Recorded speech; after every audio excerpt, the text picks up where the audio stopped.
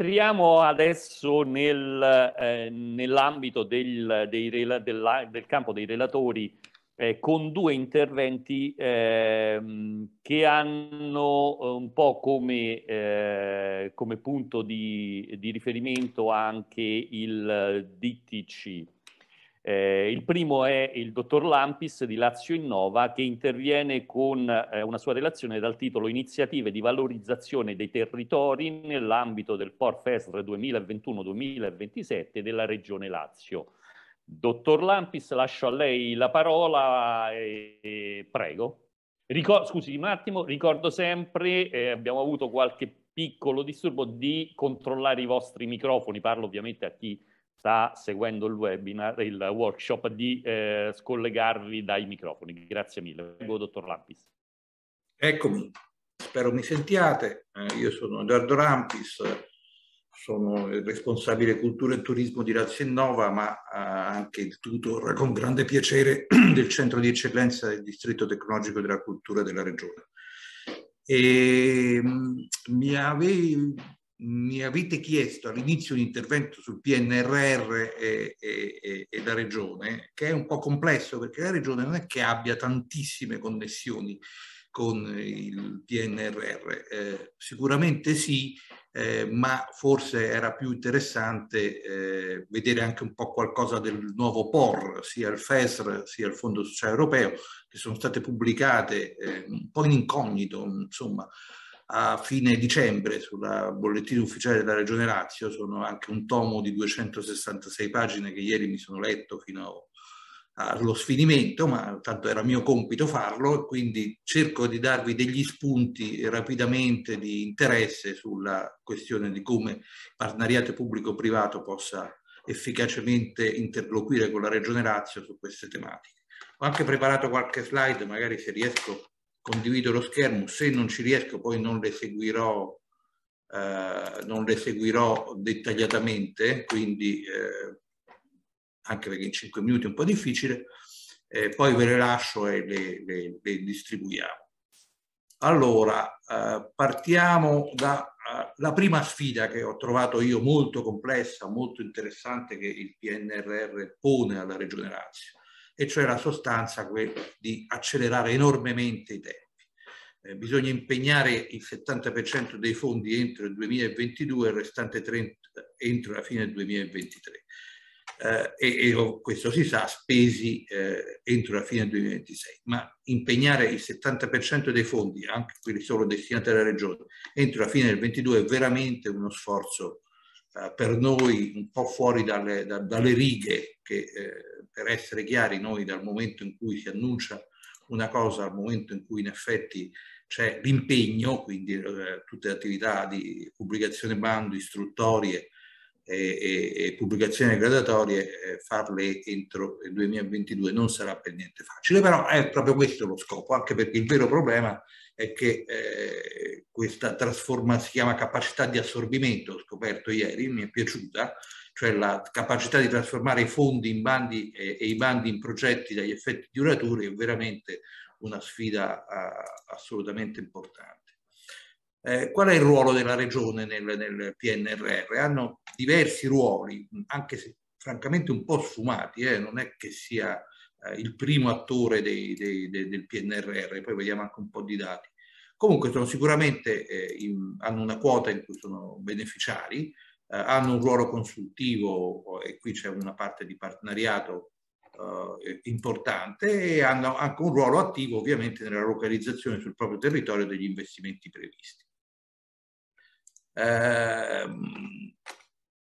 questa la lasciamo, vi faccio notare solamente che eh, il, il, il, raggiungimento delle milestone eh, riguarda una, per tutti gli enti locali, ora lo vediamo più nello specifico, Uh, il 35% delle risorse del PNR, sono 66 miliardi di euro di, da impegnare entro il 2020 eh, e 23 e prevalentemente 2022. Queste sono le, le risorse allocate per gli enti territoriali Eh, come vedete c'è una forte prevalenza sulla transizione ecologica e sull'inclusione e coesione, mentre per esempio per la mobilità sostenibile il ruolo degli enti locali è quasi insignificante. E anche sugli argomenti di nostra competenza sulla cultura, sono 3 miliardi, ma sono 3 miliardi divisi in 20 regioni e in 6 anni, quindi non è che siano importi particolarmente importanti.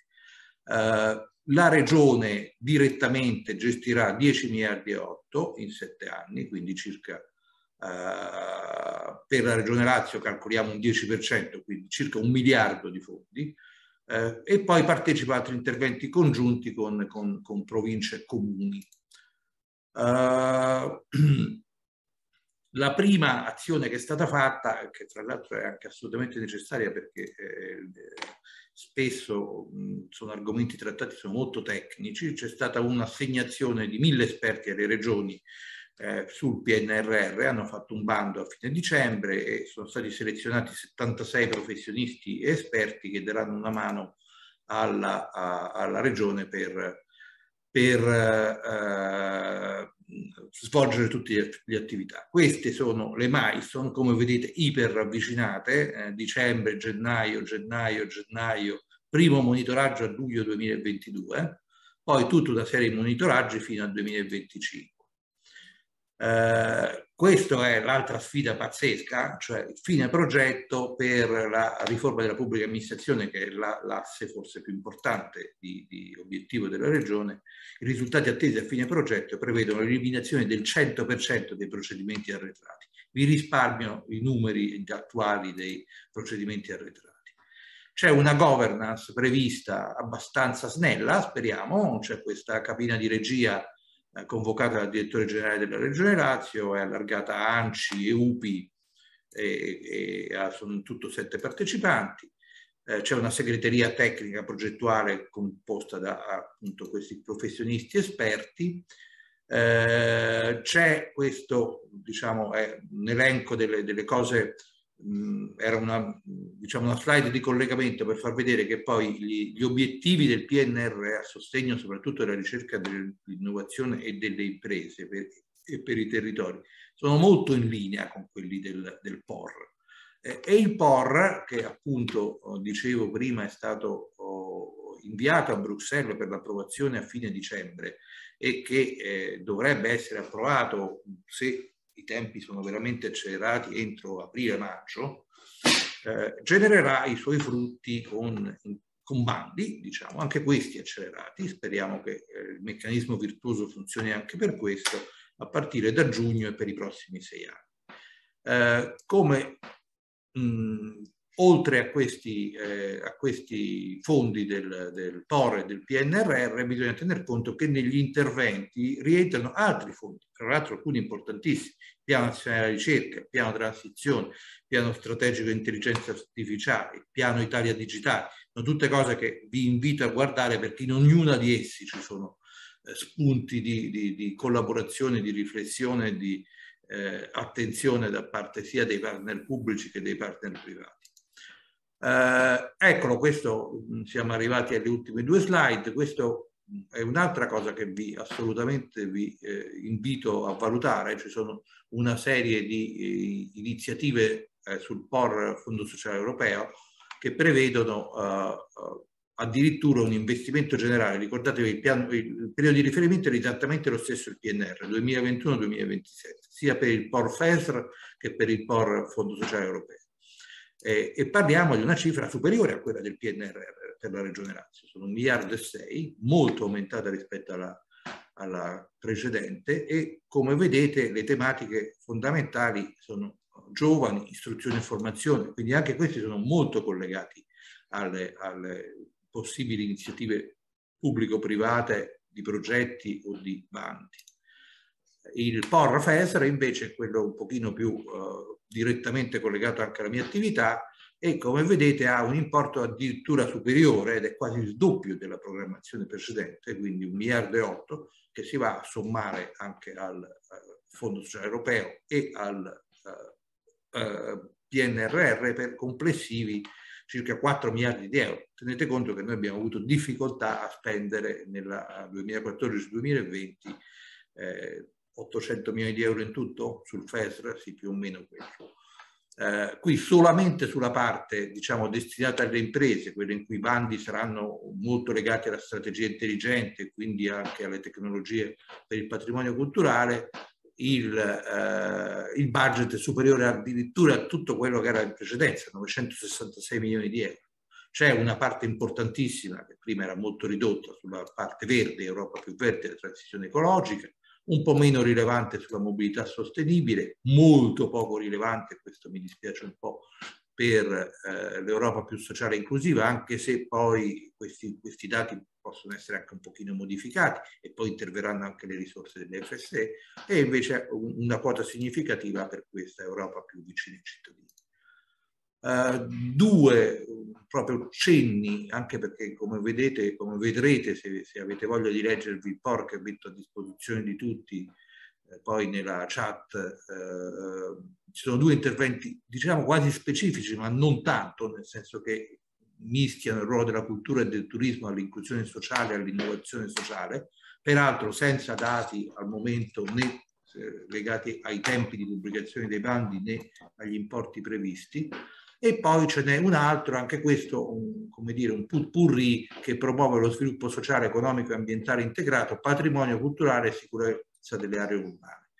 Anche su questo sicuramente saranno importi importanti, però eh, i, i, i, tempi e, e le modalità dei bandi mi sono ancora abbastanza oscuri. Tengo aggiornati tutti, sono a disposizione, un caro saluto a molti degli amici che vedo presenti.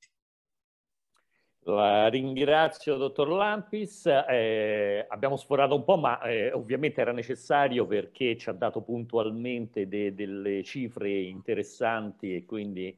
eh, era necessario ascoltare eh, fino alla fine la presentazione delle slide per avere un quadro eh, completo e generale del suo intervento. Quindi grazie di nuovo. Eh, passerei senza indugi al prossimo intervento, eh, il dottor Ragone, Giovanni Ragone, coordinatore Comitato Tecnico Scientifico di TC Lazio. Il suo intervento sarà, eh, avrà il titolo Il DTC, un attento interlocutore per progetti e realtà del territorio. Eh, prego, dottor Ragone. Grazie eh, professore, non è che ci tengo solo per, per, per i miei 50 anni di insegnamento. Eh, scusami, eh, dunque eh, farò risparmiare il, il tempo. Professore, che... scusi, recupero la, la mia gaffa. farò risparmiare il tempo prego. che ha aggiunto Edoardo perché essenzialmente ehm, ritengo vada semplicemente ehm,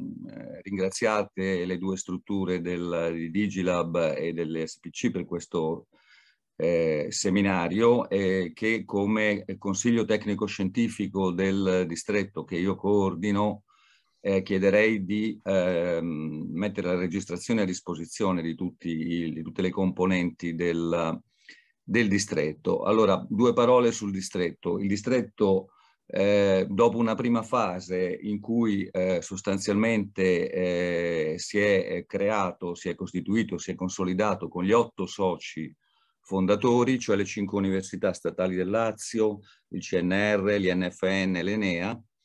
è entrato da un anno circa nella seconda fase che prevede, che ha previsto l'estensione a nuovi soci, ehm, oltre eh, che l'allargamento della rete già abbastanza imponente degli stakeholder. Ora, il distretto, eh, questi soci stanno entrando gradualmente, parliamo di soci che sono sia altre grandi istituzioni culturali ehm, e scientifiche, per esempio l'INVG, vorrei citare tra questi, ma anche tante altre, grandi musei, ehm, e così via, ma anche eh, imprese private, sia grandi imprese che eh, associazioni di piccole imprese che eh, piccole imprese. Eh, molto importante è l'entrata eh, che è in corso dell'Anci Lazio, l'associazione dei comuni del Lazio, proprio per in vista di una estensione di questa eh, primigenie esperienze di partenariato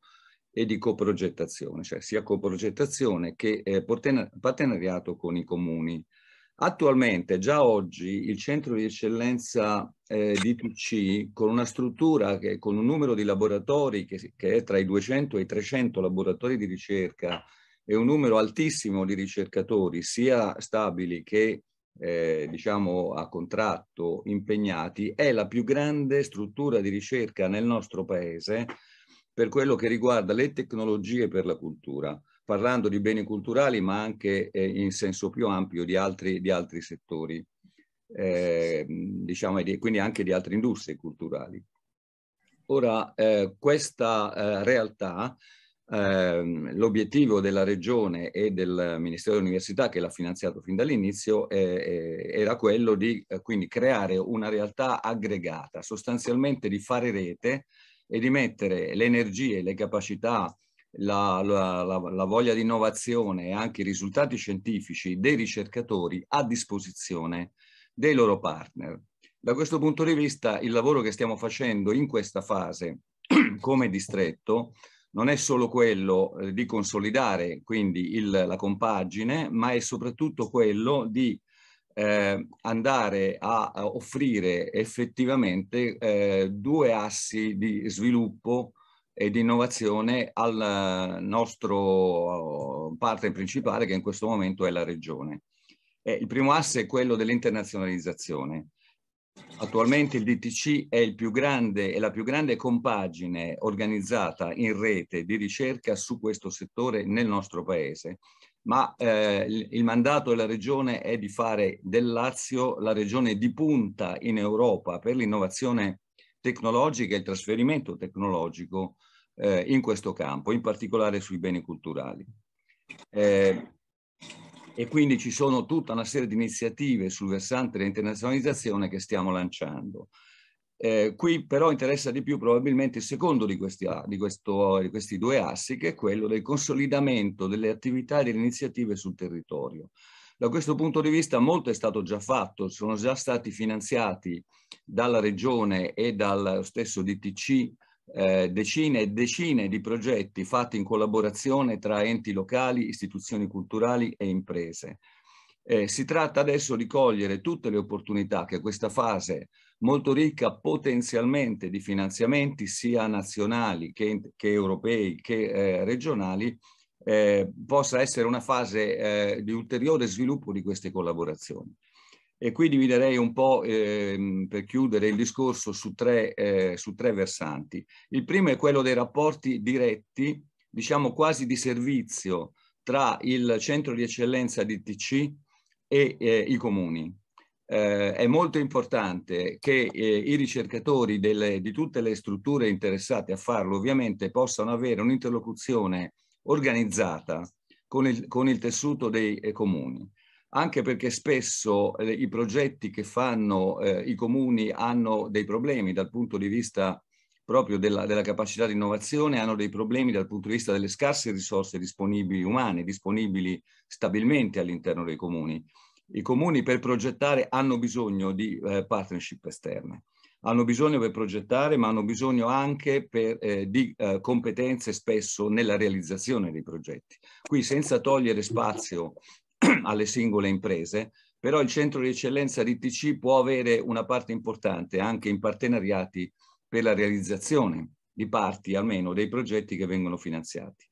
E questa è la partita, diciamo, che eh, in rapporto con Anci Lazio stiamo cercando di organizzare, cioè un lavoro di coprogettazione eh, che ci porti veramente a fare rete. Tra l'altro questo è un vantaggio per i territori, perché come, eh, come tutti i colleghi dei comuni che saranno collegati sanno bene, molto spesso uno dei problemi è di non frazionare, non micronizzare troppo l'intervento e di fare degli interventi che possano avere delle caratteristiche di continuità nel tempo, di qualità che lasciano veramente eh, delle tracce e delle possibilità di sviluppo di ulteriori attività a fianco dell'intervento che viene finanziato. E questo richiede un lavoro, un lavoro di, di squadra tra ricercatori, eh, rilevazione dei punti di interesse, rilevazione di, dei, dei, beni presenti sul territorio, eh, ipotesi di sviluppo e, e, piena, e, piena, consapevolezza della fase che stiamo vivendo, che è una fase di digitalizzazione, virtualizzazione, che è un passaggio culturale e sul piano anche eh, tecnologico di estremo interesse e, e strategico per il nostro paese, soprattutto per le realtà sia quella metropolitana importante di Roma, con cui pure stiamo in grandi rapporti, sia per quello che riguarda il Lazio interno. Un secondo asse riguarda proprio il PNRR, dove non è a disposizione soltanto il finanziamento sotto leggi da Moore del partenariato esteso eh, pubblico-privato, eh, che già lo dice il nome, ovviamente richiede competenze eh, e, e, sinergie forti tra le istituzioni eh, di ricerca e, diciamo, e le, le, imprese private e i soggetti privati in generale, ma ci sono anche tanti altri filoni del PNRR su cui stiamo lavorando eh, che riguardano altre iniziative, riguardo ai quali eh, è possibile immaginare gli interventi. Penso per esempio a un ragionamento che si sta cercando di mettere in piedi proprio con le due strutture che hanno organizzato questo seminario per quello che riguarda per esempio il rapporto con l'autorità portuale, l'infrastrutturazione turistico-culturale dei nostri porti e, e, così via. Ma gli esempi possono essere tanti, c'è anche l'area la, eh, terremotata, ci sono iniziative particolari all'interno del PNRR che vanno, che vanno seguite. Eh, e terza, eh, terzo e ultimo elemento è quello di cui ha parlato eh, Edoardo Lampis, cioè il POR regionale che di per sé stesso è una, è una occasione eh, straordinaria e, e diciamo la, la, più ampia dal punto di vista del finanziamento mai, mai prevista che può eh, offrire possibilità ulteriori di sinergia tra eh, pubblico e privato e tra pubblico e pubblico. Ecco, chiudo un po' su questo. Eh, bisogna ehm, che i nostri interlocutori, eh, le imprese, i territori, eh, si abituino in questa regione il più possibile a fare riferimento al DTC chiedendo i nostri servizi e chiedendo comunque interlocuzione disponibilità di nostre strutture a coprogettare e a collaborare. Da questo punto di vista l'approfondimento di tipo anche tecnico su come si fanno i partenariati, soprattutto sia pubblico-pubblico, ma lì siamo abituati abbastanza alla collaborazione, soprattutto la novità, l'estensione e, la strategicità del partenariato pubblico-privato. Ecco, da questo punto di vista questo seminario io spero che offra elementi anche tecnici eh, no, abbiamo tutti molto da imparare. Alcuni partenariati pubblico-privato sono stati effettuati anche nella fase precedente del DTC con grandi difficoltà. Eh, no, per, per, la scarsa cultura sia nostra come strutture di ricerca che dei partner eh, di impresa o dei comuni. E quindi da questo punto di vista io spero veramente che questo seminario ci porti degli elementi ulteriori, visto che diciamo, eh, su questo fare cultura e eh, offrire competenze è assolutamente essenziale. Vi ringrazio. Professore, sono io a ringraziarla e devo dire che già da questi primi interventi eh, stanno scaturendo delle indicazioni interessanti anche per delle riflessioni eh, finali. Eh, a questo punto passo alla dottoressa Giovanna Barni, qui eh, in veste di presidente della Culture Media Lega Cop. Eh, dottoressa, presidente, se è sì, buongiorno. Ok, perfetto. Allora le lascio eh, ampiamente la parola, prego. Buongiorno. Ah, scusi, scusi, scusi. Eh, ehm, ho dimenticato di indicare il titolo del suo intervento, Nuovi modelli cooperativi pubblico-privato per lo sviluppo a base culturale. Prego. Sì, eh, buongiorno a tutti. Io sto anche condividendo lo schermo, non so se vedete. Vedete? Sì, si vede, si vede, può, okay. può procedere. Perfetto, perfetto. Allora, io eh, mi soffermerò su alcune cose. Buongiorno a tutti. Intanto io rappresento la, la cooperazione culturale, eh, creativa e turistica eh, in Italia, quella de, aderente a, all'associazione Lega Coop, con la quale eh, che è stata fin da subito interessata alla nascita del distretto tecnologico della Regione Lazio e infatti sia diciamo come associazione eh, sia come eh, singole cooperative eh, sti- siamo soci o stiamo per essere soci sia del DTC sia del de- di uno dei Contamination Lab che sono nati a valle del, a, a valle del, del distretto. Eh, riteniamo, insomma, tra l'altro di essere eh, uno dei soggetti che ha portato per primo, credo a, a, a ragione, insomma, uno dei soggetti che ha eh, eh, portato avanti per primo il concetto di partenariato pubblico-privato, vuoi anche per la natura della cooperazione, che come sapete benissimo è una eh, forma eh, di impresa eh, sociale, cioè una forma di impresa eh, democratica, aperta, inclusiva, cooperativa e quindi anche ehm, un soggetto di impresa che guarda eh, prima l'interesse generale e alla creazione di occupazione per i propri soci e, e, e non certamente all'utile come sono altre forme come sono altre forme di imprese. Questo ci consente, ci ha consentito di eh, avere da subito questa visione e qui vedete infatti delle slide che sono state presentate alla call Viviamo Cultura, che è stata proprio una call per raccogliere e incubare le prime sperimentazioni di partenariato pubblico-privato tra cooperative e comuni nei, territo nei, nei territori italiani. Eh, già due anni fa ci sono già eh, una decina di sperimentazioni in, in corso, tra l'altro alcune anche di grandissimo, di grandissimo successo, come il Teatro Tascabile di Bergamo, che ha restaurato un immenso convento nel, nel centro storico di Bergamo che era completamente, completamente abbandonato. E che cos'è, che, cos'è che rende eh, eccezionali ma indispensabili oggi i partenariati pubblico-privati? In parte è già stato detto da, anche da Costanza Miliani, ehm, che ringrazio e saluto, eh, perché eh, il, eh, da alcuni anni il patrimonio culturale, e soprattutto dopo l'anno europeo del patrimonio culturale, ma anche la nuova agenda 2030 per la cultura, ehm, in ambito europeo soprattutto, ehm, il patrimonio culturale e la cultura stanno, hanno avuto riconosciuto un nuovo ruolo eh, che è soprattutto un ruolo sociale, cioè sono, si sono collegati definitivamente la valorizzazione del patrimonio culturale anche allo sviluppo sostenibile, quindi ai, ai, goals dello sviluppo sostenibile, non solo al diciassettesimo, che tra l'altro è il goal proprio sul partenariato, ma anche a tutti gli altri, cioè cultura e patrimonio culturale come antidoto rispetto ai grandi divari eh, di genere, generazionali, territoriali, economici, sociali che ci sono ancora in, in, nel, nostro, nel nostro, in Europa e anche nel nostro paese, tant'è che stanno anche, sono anche le missioni, i principali obiettivi, i principi su cui si basa tutto il PNNR. E tra l'altro quindi cultura e patrimonio, e non a caso sono diciamo in una, nel PNNR, nel, eh, nel punto sulla digitalizzazione e competitività del paese, considerato praticamente una missione trasversale a tutte, a tutte le altre, e quindi anche questo, diciamo, nuova centralità della cultura e del patrimonio culturale nello stesso PNNR non fa che ribadire questo ruolo diverso e nuovo che eh, è stato riconosciuto fin mh, alcuni anni fa eh, in, in, Europa. E tra l'altro adesso, insomma, come sa bene, come si sa, sa bene, sanno bene molti in questo, in questo, in questa, coinvolti in questa discussione, si sta parlando recentemente anche del ruolo nella transizione verde, nel contrasto ai cambiamenti climatici, eccetera. Eh,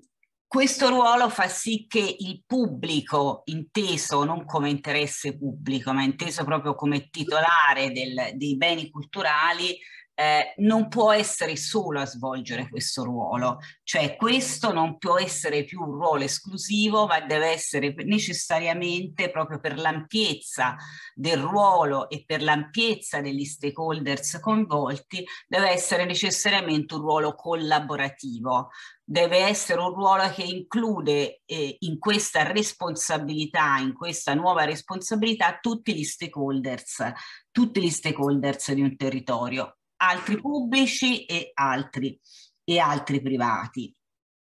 Di che, cosa, di che cosa stiamo parlando in particolare rispetto a questo nuovo ruolo? Innanzitutto eh, il patrimonio culturale è una risorsa indispensabile del paese, eh, oltre il 60% è inutilizzata e quindi si tratta appunto di dare una nuova destinazione d'uso a questo patrimonio culturale, quindi una nuova destinazione d'uso che favorisca questo ruolo inclusivo di coesione, di crescita culturale, di crescita democratica, eccetera.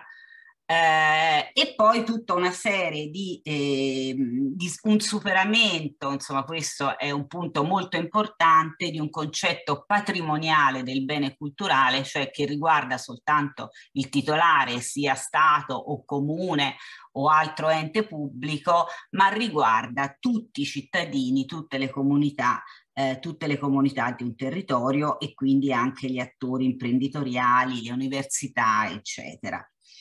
Eh, ho già detto che la cooperazione, diciamo, si sente, si è sentita da subito, insomma, interessata da, questo, da, nuova, da questa nuova forma, eh, che, ha che ha particolari novità. Non voglio scendere sui dettagli giuridici perché so che di, dopo di me ci sarà, eh, saranno eh, trattati proprio da un legale. Sicuramente una delle prime novità è quella delle procedure semplificate, analoghe a quelle riferibili alle sponsorizzazioni, anche se in questo caso sappiamo che è diverso dalla sponsorizzazione, quello che si assume il privato è un rischio della futura gestione e quindi non è tanto un investimento di tipo finanziario, ma è proprio il rischio della futura gestione, il rischio di continuare pubblico-privato insieme a perseguire eh, un piano che eh, abbia come obiettivo l'interesse generale, gli interessi che abbiamo visto, che abbiamo visto prima.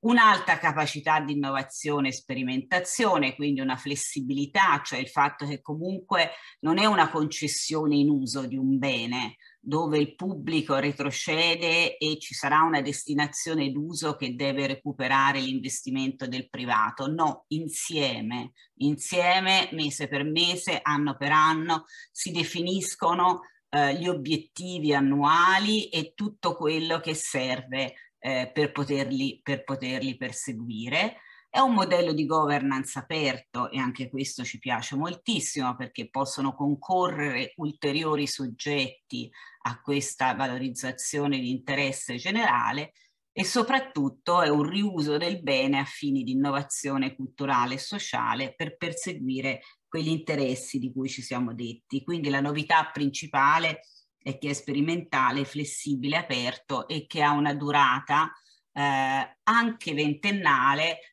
perché ovviamente per perseguire queste tipologie di interesse non si può più, questi sono slide che parlano sulle procedure, ma abbiamo detto appunto che le lasceremo a ehm, a chi, eh, al relatore che, che, che, mi seguirà. Ecco, quello che mi interessa è dire anche una durata ventennale perché ovviamente eh, sono obiettivi che si raggiungono soprattutto nel, nel, lungo, nel lungo periodo e questo ci dovrebbe far riflettere su quella forma ancora di appalti che invece è, è, temporalmente limitata e quindi finisce per non soddisfare né l'amministrazione pubblica né il soggetto privato, ma probabilmente non soddisfa soprattutto la comunità che abita intorno al bene culturale.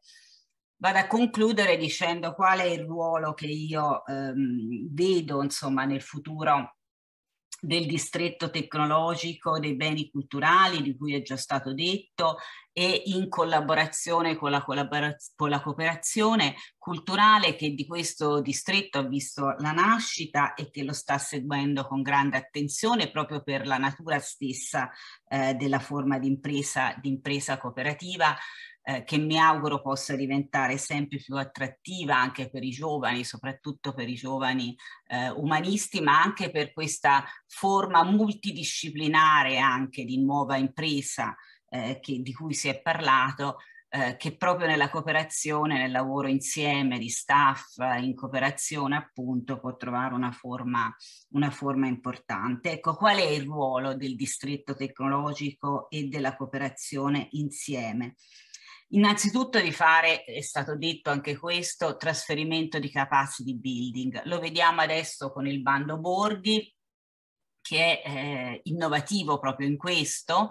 perché include non a monte di un'operazione di restauro o di recupero, ma a valle nell'operazione, nel progetto di riuso del bene culturale, di cui gli interventi, sono, interventi di restauro sono il fine, non sono il mezzo, non certo il fine, lo include fin da subito, ma non c'è preparazione, non ci sono le competenze, nel pubblico, tanto nel pubblico quanto nel privato ed è per questo secondo me che è importantissimo che il distretto tecnologico si occupi non solo di trasferire competenze nell'innovazione tecnologica ma anche nell'innovazione sociale, di cui per esempio sociale organizzativa, di cui appunto il partenariato pubblico-privato è parte. Eh, l'altro ruolo importante è secondo me l'idea proprio di eh, includere l'innovazione sociale perché le, non si abbia mai l'impressione che la tecnologia applicata al bene culturale, ai beni culturali,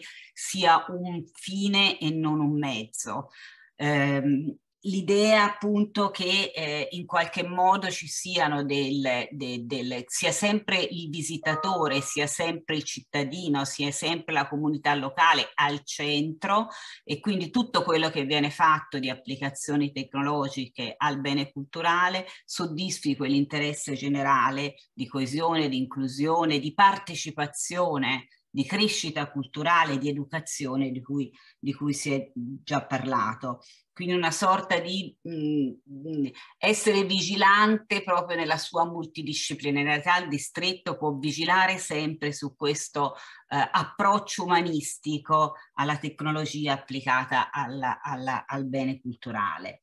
E infine, diciamo, un, anche un ruolo di, ehm, anche un ruolo, scusate, anche un ruolo di eh, come dire, fra virgolette, eh, vi, vigilare anche sulla trasversalità, lobby, insomma, vigilare anche sulla trasversalità eh, del, del, eh, di, di, questa, di, di, della, della, del partenariato pubblico-privato, di questo approccio umanistico alla tecnologia, perché se da una parte nella missione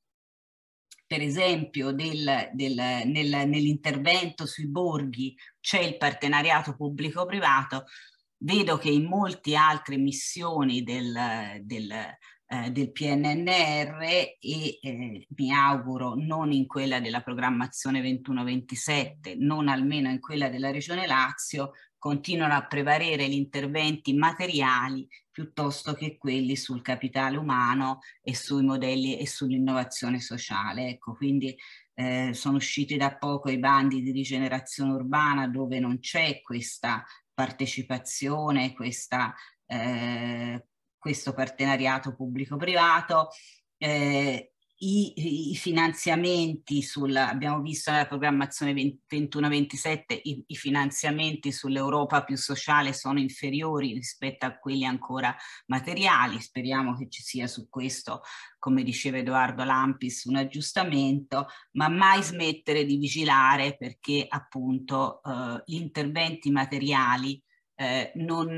non, perché questi, questi interventi guardino anche al futuro, cioè alle prossime generazioni e quindi non si limitano praticamente a restaurare, ma siano veramente interventi rigenerativi. Ed è per questo che insistere su, queste, ehm, su questi nuovi modelli partecipati eh, di scambio eh, multidisciplinari, e, e, e soprattutto di, eh, di, di, durata, di una, che hanno una prospettiva verso il futuro è quanto, mai, è quanto mai importante. Quindi grazie di avermi invitato e spero di aver dato un contributo utile alla discussione. Grazie dottoressa Barni, sicuramente il suo contributo è stato utile e mh, Intanto volevo approfittare per eh, ricambiare i saluti di quanti hanno appunto lanciato i loro saluti in chat. Volevo avvisare i presenti partecipanti che eh, il dottor Lampis ha inserito anche nella chat il link per il POR FES Lazio, eh, quindi chi vuole eventualmente scaricare il PDF può farlo nella chat e Permettetemi anche di ricambiare il, un saluto che eh, arriva da Istanbul, sicuramente sbaglierò pronuncia, dalla Oziegin University, quindi eh, saranno contenti sicuramente gli organizzatori, oltre al numero dei partecipanti che è piuttosto cospicuo, anche di questa presenza eh, che viene da eh, fuori confini italiani. Allora, a questo punto mi lancio io nella presentazione dell'intervento dell'avvocato Angelo Lacerenza che eh, qui eh, interviene come eh, consulenza appalti.net, quindi eh, ci darà sicuramente delle informazioni importanti e interessanti eh, da questo punto di vista. Il suo eh, titolo è Il partenariato pubblico-privato un panorama tecnico. Se eh, l'avvocato Lacerenza è pronto, io cedo la parola. Buongiorno a tutti, eh, mh, mi scuso se non riesco ad attivare la telecamera per un problema tecnologico che non sono riuscito a risolvere, ma spero che riusciate a vedere le slide che ho predisposto per questo intervento. Vediamo le eh, slide e la sentiamo benissimo. Perfetto, perfetto. Grazie, grazie a tutti. Uh, il tema uh, del partenariato pubblico-privato nell'ambito culturale è una grande eh, novità e, e soprattutto mh, ritengo che possa essere la chiave di volta per uno sviluppo economico e anche sociale del nostro paese. In questa fase storica eh, credo che il partenariato pubblico-privato insieme al, eh, alle risorse, alle consistenze importanti del PNRR possa costituire veramente il driver per darci dare la possibilità al nostro paese di compiere un grande salto di qualità. Uh, il PNRR in materia di uh, cultura prevede risorse importanti nell'ordine di oltre uh, 6 milioni di euro tra cultura e turismo e con particolare riguardo alla cultura siamo nell'ordine di oltre 4 miliardi di euro. Quindi una consistenza importante di risorse. Abbiamo a disposizione uno strumento che ci mette a disposizione il codice, il partenariato, il codice degli appalti, il partenariato pubblico-privato come eh, elemento e stimolo e strumento di collaborazione, poi vedremo nel dettaglio, per stimolare forme di valorizzazione del patrimonio culturale. Il patrimonio culturale per l'appunto quello italiano è caratterizzato da una presenza diffusa su tutto il territorio nazionale. La dottoressa Barni che mi ha preceduto e che ringrazio per alcuni elementi interessantissimi, di, alcuni spunti che, ha, eh, che, che mi ha lanciato. Il patrimonio culturale italiano ha questa caratteristica di eh, capillarità e eh, non essendo concentrato in pochi poli, ecco, questo costituisce un elemento di, di sviluppo e di crescita diffusa nell'intero territorio eh, nazionale. Eh, quindi PNRR, partenariato pubblico-privato nelle sue più diverse forme e patrimonio culturale sono, costituiscono a tutti gli effetti tre asset che devono essere messi a fattor comune perché possono costituire il veicolo di uno sviluppo non solo della, eh, economico eh, del nostro paese, ma anche di uno sviluppo sociale, perché eh, il patrimonio culturale, essendo così capillarmente diffuso contribuisce alla crescita di microeconomie locali ed ovviamente può essere eh, questa triade può eh, eh, eh soppor- supportare la valorizzazione e la promozione del patrimonio eh, culturale. Le misure eh, previste dal dal piano di resilienza eh, in materia culturale sono mh, focalizzate sulle, eh, sui maggiori punti di forza di cui l'Italia eh, dispone. e eh, punti ovviamente rispetto ai quali il, eh, al, nel momento del confezionamento del PNRR si è deciso di eh, eh, puntare l'attenzione per incentivare, per stimolare alcune attività. Io, eh, vedete, tra un po' di, di, quando parlo di PNRR, in particolare di enti locali, utilizzo, impiego il termine osare. Ecco, questo è il momento di osare per eh, stimolare, sviluppare eh, le misure previste dal PNRR.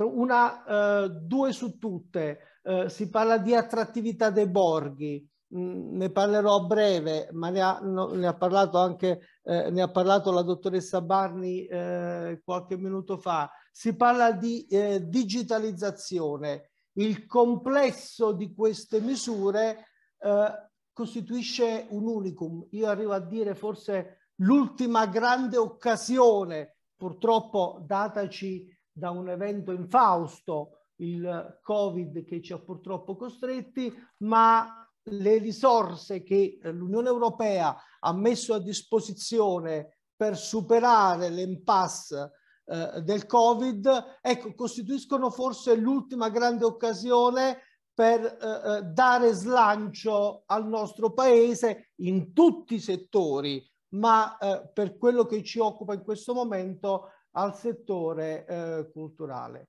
Il, P, il partenariato pubblico-privato in particolare.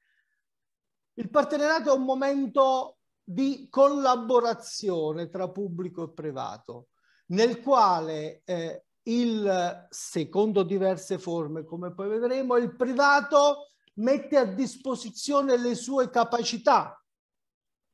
a partire dalle capacità ovviamente finanziarie, ma la capacità progettuale, la capacità di innovare, la capacità di gestire delle risorse, evidentemente elementi che eh, mancano in tutto o in parte al soggetto pubblico che mette a disposizione degli asset, mette a disposizione un bene e che riesce ad ottimizzare eh, eh, eh l'impiego di questo bene, riesce a valorizzarlo grazie all'intervento del privato.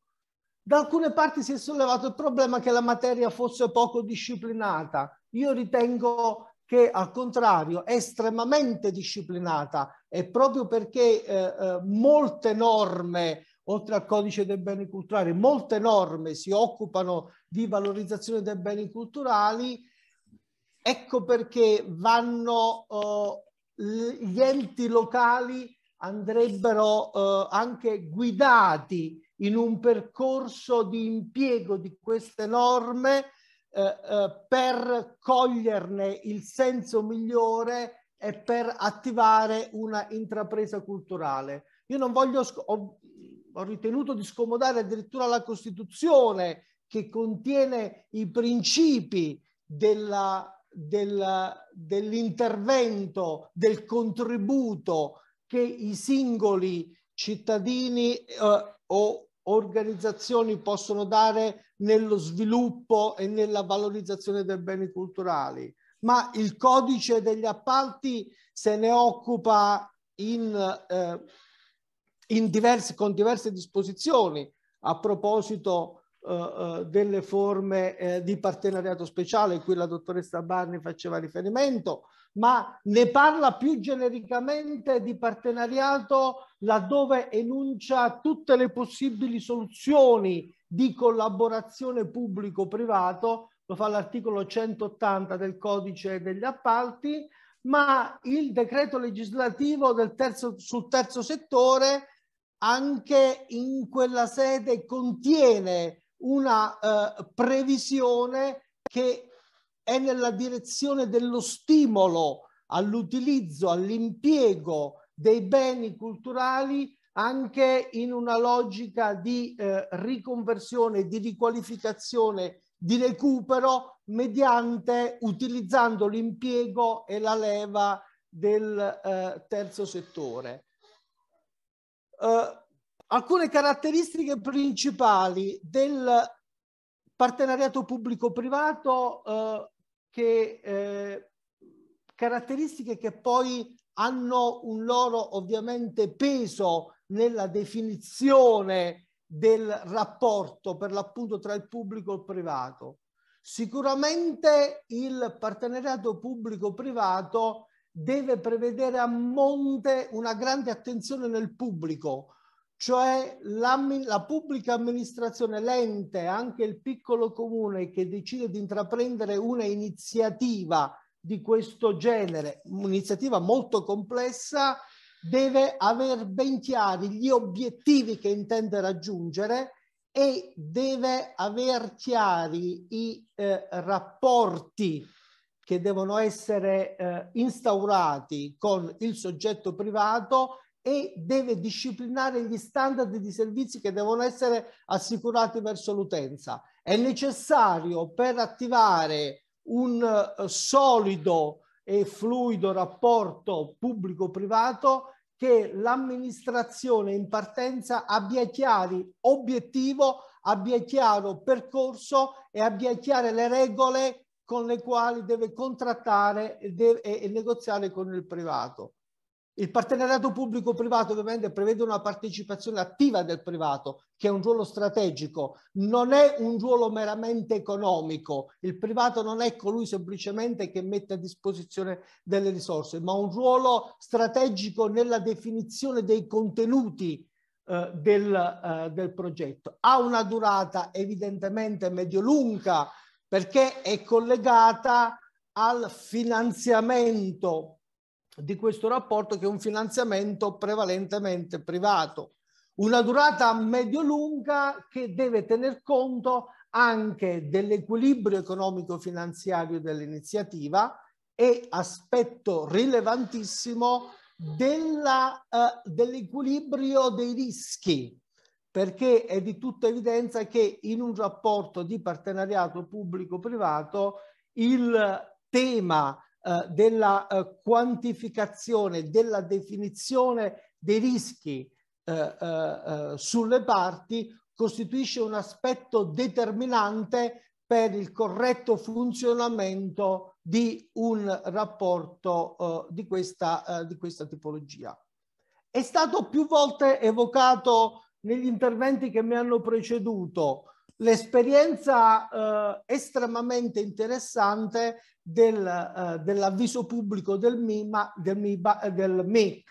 il Ministero della Cultura, circa la uh, rigenerazione dei borghi uh, storici. La scadenza è prossima, la posta in palio, come vedrete, è ragionevolmente, uh, ragionevolmente elevata, una consistenza di somme interessanti, L'avviso chiaramente eh, eh, prevede il partenariato eh, pubblico-privato come momento per assicurare, per garantire un maggior punteggio alle candidature, eh, eh, alle candidature che verranno presentate eh, dagli enti locali. Aggiungo un aspetto che ho rilevato esattamente ieri sera eh, dal, dal, web. Io come studio ho attivato un programma di monitoraggio eh, degli appalti pubblici che vengono indetti mh, eh, quotidianamente in Italia. Bene, solamente ieri sera, quindi bandi pubblicati il eh, nel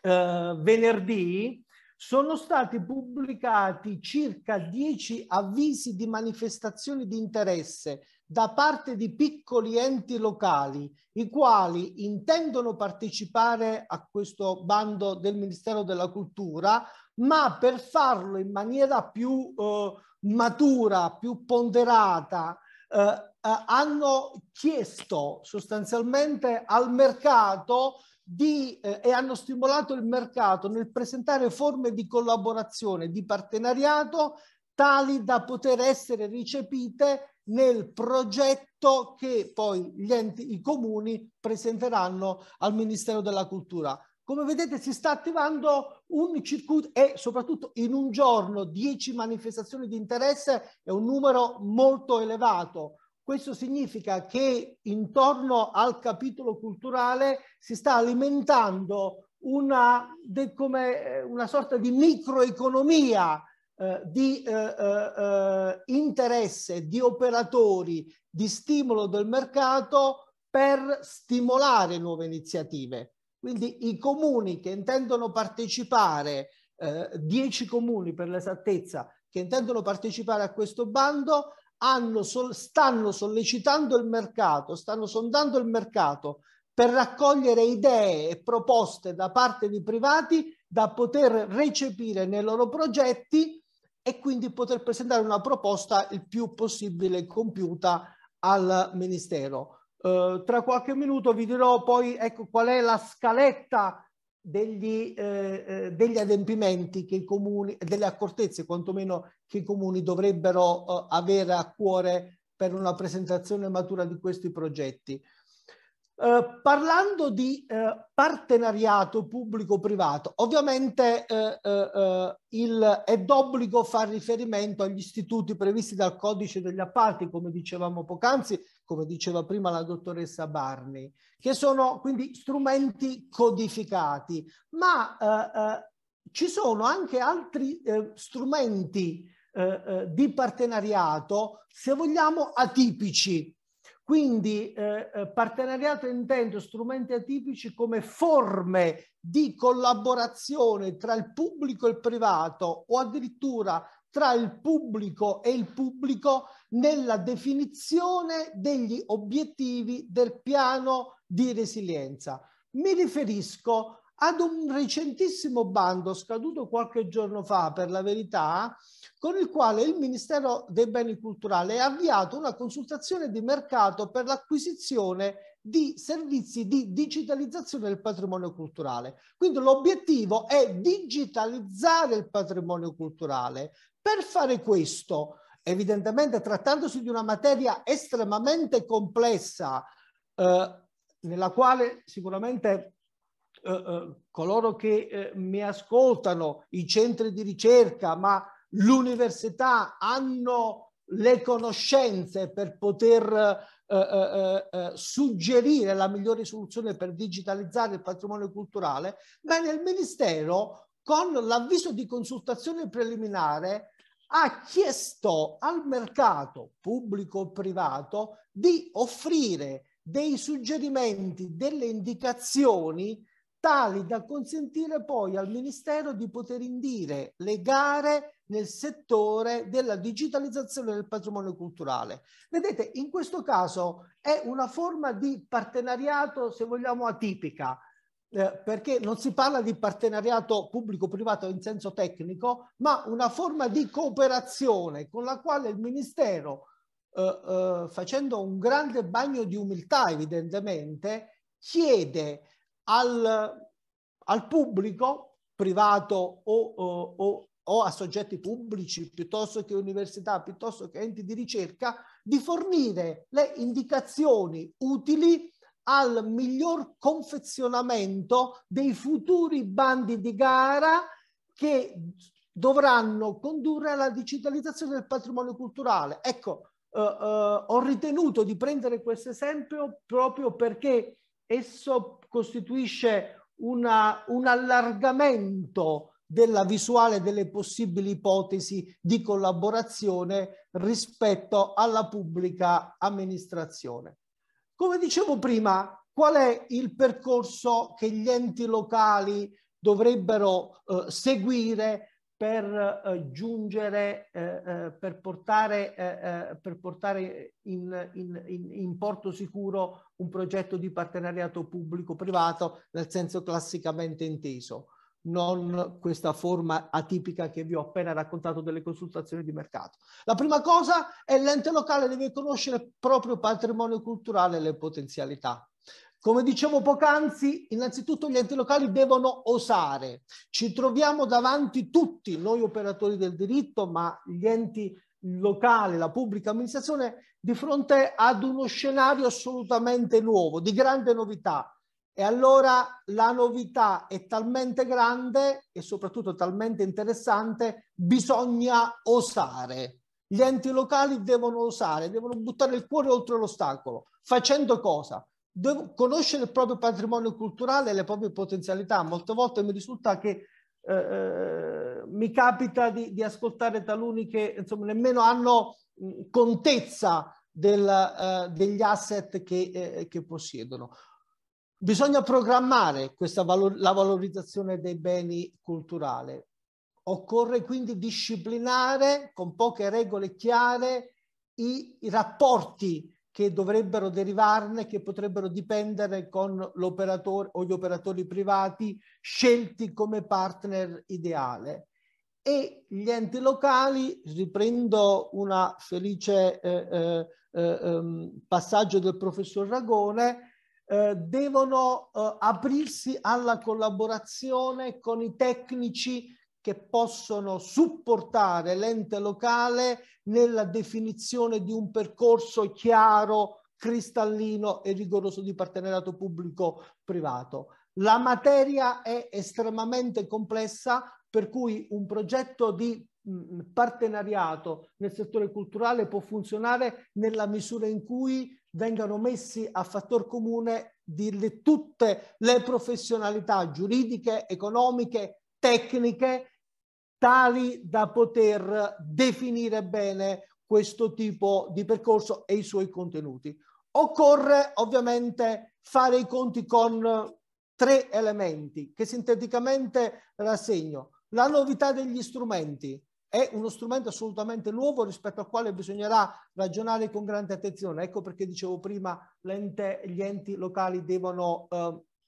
osare in questa materia. Eh, si tratta di operazioni estremamente complesse, quindi vanno costruite bene. Attenzione all'erogazione dei fondi, eh, per, soprattutto per i comuni di minore dimensione. Eh, io eh, segnalo un articolo di Italia Oggi di qualche giorno fa che appunto eh, lanciava l'allarme di cassa per i piccoli comuni per l'ipotesi in cui i fondi a disposizione dovessero tardare. Quindi è necessaria anche una programmazione di ordine finanziario da parte dei piccoli comuni per poter attivare una iniziativa di questo genere. Concludo eh, con una mia segnalazione personale. Io eh, scrivo poesie nei ritagli di tempo. L'ultima di copertina del mio libro eh, dice pressappoco questo, che l'Italia possa parlare e vivere di cultura. Ecco, io ritengo che noi in questo momento abbiamo la possibilità di restituire al nostro paese, che eh, tutti amiamo, il primato della cultura. Abbiamo gli strumenti giuridici, abbiamo le risorse. Occorre metterli a fattor comune in questa eh, direzione. Vi ringrazio per l'attenzione. Grazie Avvocato per il suo intervento e anche per la poesia che ci ha dedicato. E, ehm, mh, intanto eh, ho visto che il professor Ragone ha risposto in chat a Cristiana Teveroni, scusi. Eh, mh, ribadisco quanto già scritto eh, in chat che eh, agli iscritti al workshop sarà inviato anche il link eh, con la registrazione appunto del workshop odierno. Eh, adesso ehm, comunicazione di una modifica eh, del programma, eh, la professoressa Capaldi purtroppo per un imprevisto non potrà essere presente eh, oggi con noi e quindi passiamo direttamente al dottor Augusto Palombini dell'Istituto di Scienze del Patrimonio Culturale CNR che eh, interverrà con una relazione dal titolo Il territorio come esperienza emotiva, strumenti e tecnologie per lo storytelling. Prego, dottor Palombini.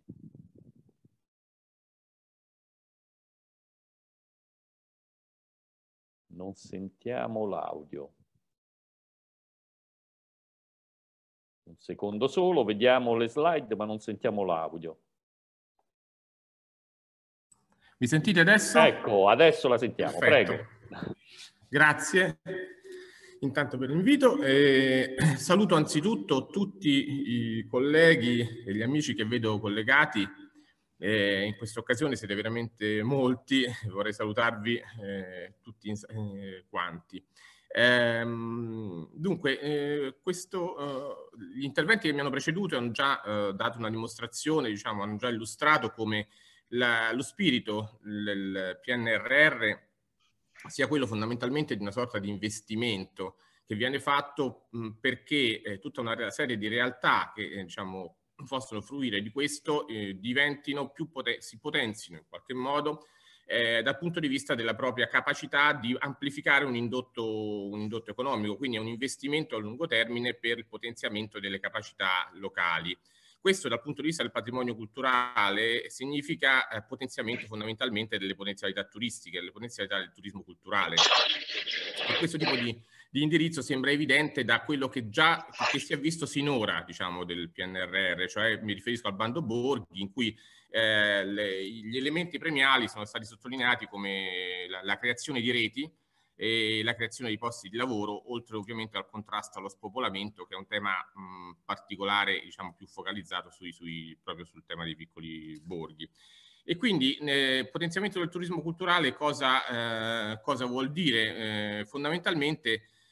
eh, significa creare progetti che potenzino l'esperienza culturale attraverso la, il fattore, diciamo, di, di, quello che io chiamo il paesaggio emotivo. Uh,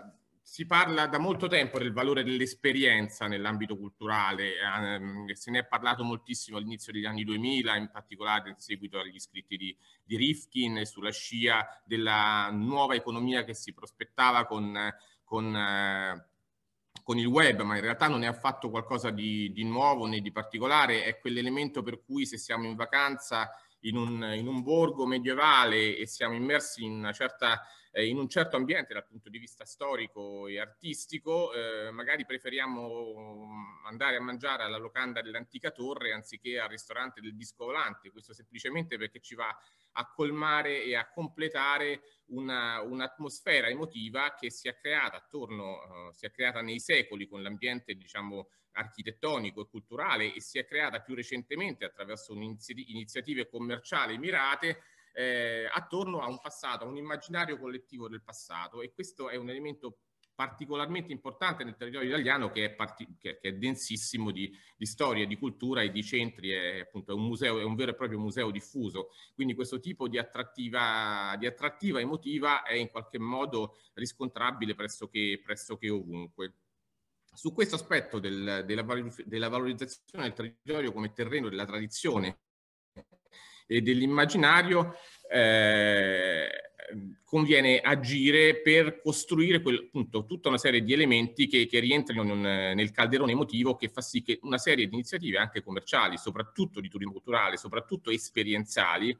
eh, possano contribuire alla narrazione emotiva del territorio. Si tratta di, di, di, di tutta una serie di aspetti eh, che mh, non nascono ieri, ovviamente, mh, eh, sono da sempre caratteristici dell'esperienza culturale, sono quelli per cui da piccoli quando eh, ci portavano, i nostri genitori ci portavano in,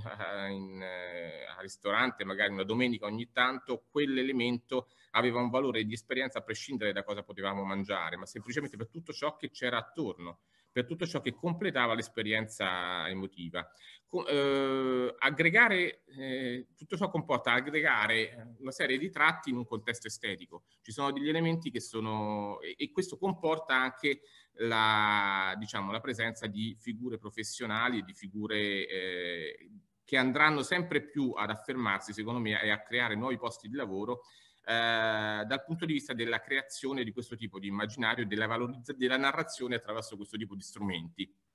Narrazione che oggi passa attraverso la, anche attraverso la tecnologia. Eh, molto rapidamente, cosa è cambiato negli ultimi 30 anni nella comunicazione del patrimonio? Sono cambiate molte cose, è cambiata la narrazione, sono, cambiati, sono cambiate moltissimo le tecnologie, è cambiata la possibilità di riprodurre digitalmente tutta una serie di ambienti e di farne un utilizzo su svariati tipi di piattaforma, dal, dal game, dalle applicazioni interattive e via dicendo. Ma a quest'ultimo proposito, eh, quello che io sottolineerei, soprattutto riguardo agli ultimi anni, è che è cambiata la velocità Oggi è possibile, eh, con gli strumenti che abbiamo a disposizione, in tempi estremamente rapidi, creare i gemelli digitali delle realtà esistenti, delle realtà architettoniche, delle realtà eh, paesaggistiche, crearne degli asset e questo fa sì che, dimezzando il tempo necessario per questo tipo di operazione, abbiamo molta più possibilità di utilizzare questi asset dando loro le caratterizzazioni che riteniamo più opportune proprio ai fini di una narrazione mirata, di una narrazione che abbia un effetto commerciale, che abbia un effetto turistico, che abbia un effetto eh, narrativo, che sia quello eh, verso cui convogliano tutti gli sforzi progettuali che stiamo facendo.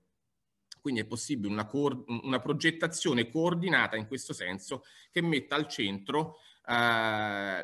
l'idea di, di, di, uh, di, un'esperienza che non è più una costruzione dell'esperienza di visita, ma è una costruzione dell'esperienza in funzione della visita, che comporta elementi di tecnologia e di narrazione prima della visita e soprattutto durante e dopo. Eh, smentendo una, un po' una favola che eh, circolava soprattutto nei primi tempi del, del, del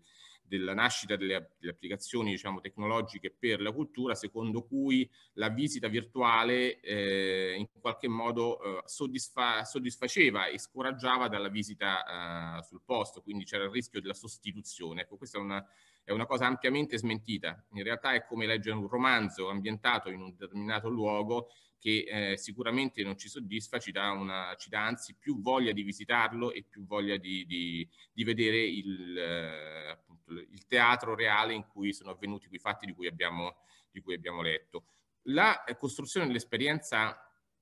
attraverso gli strumenti della tecnologia eh, sicuramente oggi si, si, si si, è, è, costituita da una serie di sfaccettature diverse, da una serie di applicazioni diverse, di strumenti diversi che non, non è possibile qui riassumere, eh, ma che si basa appunto sulla semplicità della realizzazione degli asset, delle, delle duplicazioni tridimensionali, potremmo dire, del, degli oggetti e dei monumenti. Eh, oggi però tutto ciò, tutto quello che già esiste, può essere visto anche in funzione di un traguardo, e qui penso in particolare a questi bandi Penso in particolare alla, appunto, alle iniziative di valorizzazione tecnologica per eh, il potenziamento del turismo, del turismo culturale che possono essere viste in un'ottica che improvvisamente ci apre anche un'altra finestra, e cioè la finestra del metaverso. Tutto quello che si può fare oggi dal punto di vista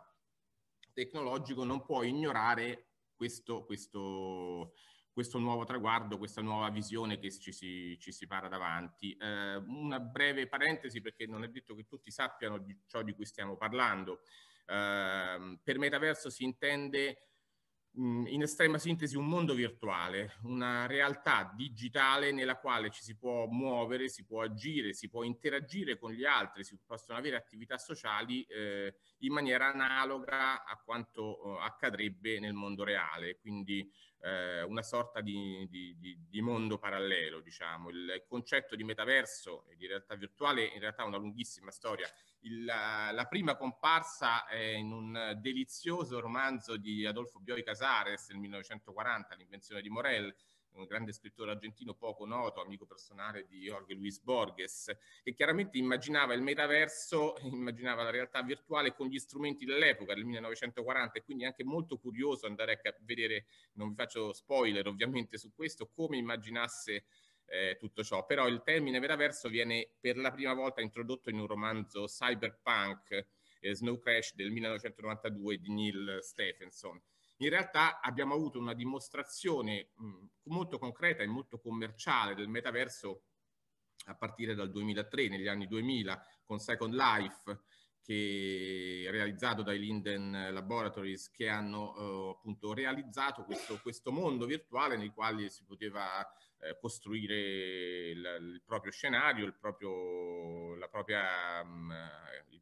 lo sfondo delle proprie avventure, in qualche modo si potevano realizzare edifici, si potevano fare acquisti e, e via dicendo. Cosa è cambiato nel frattempo? È cambiato che sono arrivati gli, i cosiddetti head mounted display, i, i caschetti, i visori che si mettono addosso e che ci consentono di avere una visione immersiva del mondo, in cui, eh, del mondo artificiale in cui ci troviamo. Ecco, quello che è accaduto nel 2021 è che Facebook ha contemporaneamente assorbito Oculus, che è uno dei maggiori produttori di questo tipo di eh, dispositivi che ci consentono una visione immersiva, e ha annunciato la trasformazione in Meta, cioè in un, in un nuovo tipo di social network basato sul metaverso, basato sul, sul, mondo, sul mondo, virtuale immersivo. Evidentemente l'obiettivo appunto è il metaverso immersivo, poter fruire di questo tipo di realtà, di questo tipo di, eh, di, di, di mondi virtuali attraverso un'immersione complessiva. Ora,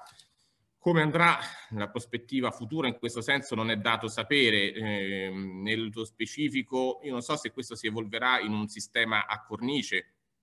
in cui ci sia appunto Meta che contempla al suo interno tutti i piccoli, tutte le piccole realtà, che, tutti i piccoli mondi virtuali che ciascuno potrà costruire per eh, ospitare, per invitare persone a, a, a immergersi nel proprio, nel proprio asset, nella propria realtà virtuale ricostruita, oppure se eh, ci saranno più eh, metaversi eh, uniti assieme dalla rete, quindi con la possibilità di accesso fra gli uni e gli altri. In ogni caso, questo con, con, comporterà un'enorme un opportunità praticamente per chiunque di realizzare, io penso soprattutto alle piccole realtà culturali, io penso piccole, ai, ai piccoli centri, per riprodurre i propri contesti di alto valore, di elevato valore eh, storico, culturale e, eh, e, renderli fruibili nella modalità che credono per realizzare un grande sistema narrativo eh, che possa avere un respiro mondiale in qualche maniera. Ecco, ehm, per fare qualche esempio, i contenuti che possono essere gestiti in un mondo immersivo sono di vario genere, ehm, non sto qui a classificarli perché non abbiamo il tempo, ma in, in estrema sintesi diciamo che si può trattare di eh, panorami eh, ripresi dalla realtà, quindi con delle videocamere eh, a sferiche, a effetto sferico, o dei, degli asset tridimensionali, quindi ricostruiti in 3D, e questi ultimi possono essere di tipo eh, reale quindi eh, ottenuti attraverso la, il rilievo della realtà o modellati, quindi attraverso la computer grafica. Uh, diciamo che, eh, che eh, qui ho, vi ho portato una carrellata di esempi realizzati attraverso un framework eh, realizzato dal nostro istituto per la visualizzazione tridimensionale. Ma è possibile pensare mondi di questo genere anche attraverso la semplice realizzazione di fotografie, di fotografie dell'esistente e qui Faccio un altro esempio su un altro framework eh, multimediale, sempre nel nostro istituto, realizzato con engineering nel contesto di un, di un progetto, di, di, un altro progetto, che invece è più focalizzato, anziché sul 3D, sulla gestione delle immagini a alta risoluzione a 360 gradi, eh, si, eh, creando dei quelli che potremmo paragonare a dei virtual tour, diciamo, arricchiti però con contenuti di vario genere personalizzati sulle, sulle, su, sugli utenti e, e, e quindi eh, che consentono di viaggiare anche nel tempo, nel senso di avere di fronte gli stessi paesaggi in diverse epoche, in diversi momenti del giorno, in diverse stagioni dell'anno e, e via dicendo. Tutto questo per dire che eh, quello che un tempo avremmo chiamato museo virtuale e che oggi più facilmente e sempre più frequentemente chiameremo mondo immersivo, perché questo è quello che sta accadendo, eh, sono fondamentalmente una delle opportunità maggiori per una narrazione emotiva del territorio e quindi per la realizzazione, per, eh, per costituire in qualche modo lo strumento di eh, di, di, fruizione, di visualizzazione de, di tutta una serie di istanze che possono dalla progettazione confluire in, un, in una forma di, di, narrazione che è sicuramente la più accessibile al pubblico, la più immediata, la più emotivamente densa e anche forse una delle più promettenti in termini di, di costi-benefici, di ampiezza del potenziale pubblico per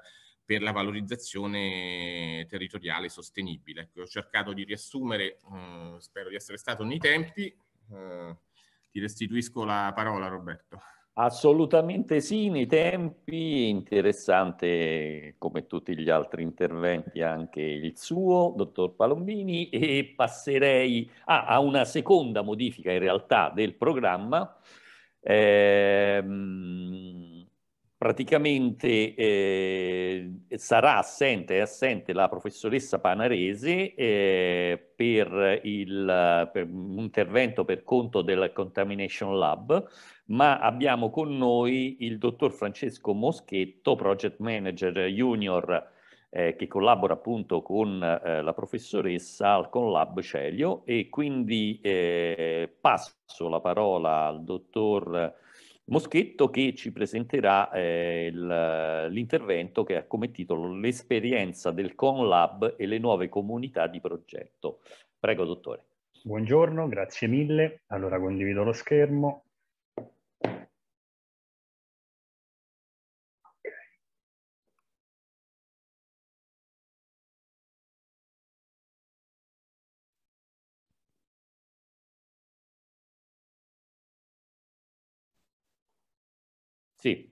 Allora, un attimo solo, scusate. Si vede? Sì, sì, sì, già è visibile. Ok, perfetto. Allora, buongiorno a tutti innanzitutto, eh, sono Francesco Moschetto, eh, ricercatore in archeologia, appunto project manager junior del progetto Collab Cerio da poco.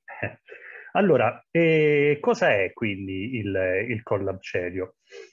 Con l'Amcelio è eh, essenzialmente un, eh, un, progetto, un laboratorio di formazione, di progettazione e incubazione del Centro Interpartimentale di Gilab della Sapienza. Ecco, in sostanza è un uno spazio fisico e virtuale all'interno del quale quindi studenti, vari attori, tra cui studenti, eh, liberi professionisti e imprese legate al mondo dei beni culturali, si confrontano appunto, eh, ehm, collaborano eh, al fine di creare una comunità eh, di condivisioni, di strumenti, di spazi, di idee, di messa in condivisione, quindi di competenze, di skills legate e funzionali a nuove proposte, nuove idee e collaborazioni del mondo del patrimonio culturale del Lazio. Quindi ecco un luogo di incontro e di contaminazione, come anche il, eh, il titolo proprio del progetto dichiara, eh, che cerca di integrare e di mettere assieme l'ambito eh, universitario della ricerca, quello professionale e quindi il tessuto imprenditoriale. Eh, I partner, quindi è un progetto finanziato dalla Regione Lazio nell'ambito del DTC, eh, ha come responsabile scientifico la eh, professoressa Paola Panarese e come project manager il dottor Reitano. Eh, I partner principali attuali del progetto sono il Disco eh, Lazio, eh, l'Istituto di Scienze del Patrimonio Culturale, Lega Cop Lazio, Cop Culture, la Sovrintendenza Capitolina e il Museo Nazionale Etrusco di Villa Giulia sono in via di eh, conclusione e di definizione ulteriore collaborazione con Anci Lazio, il primo municipio di Roma.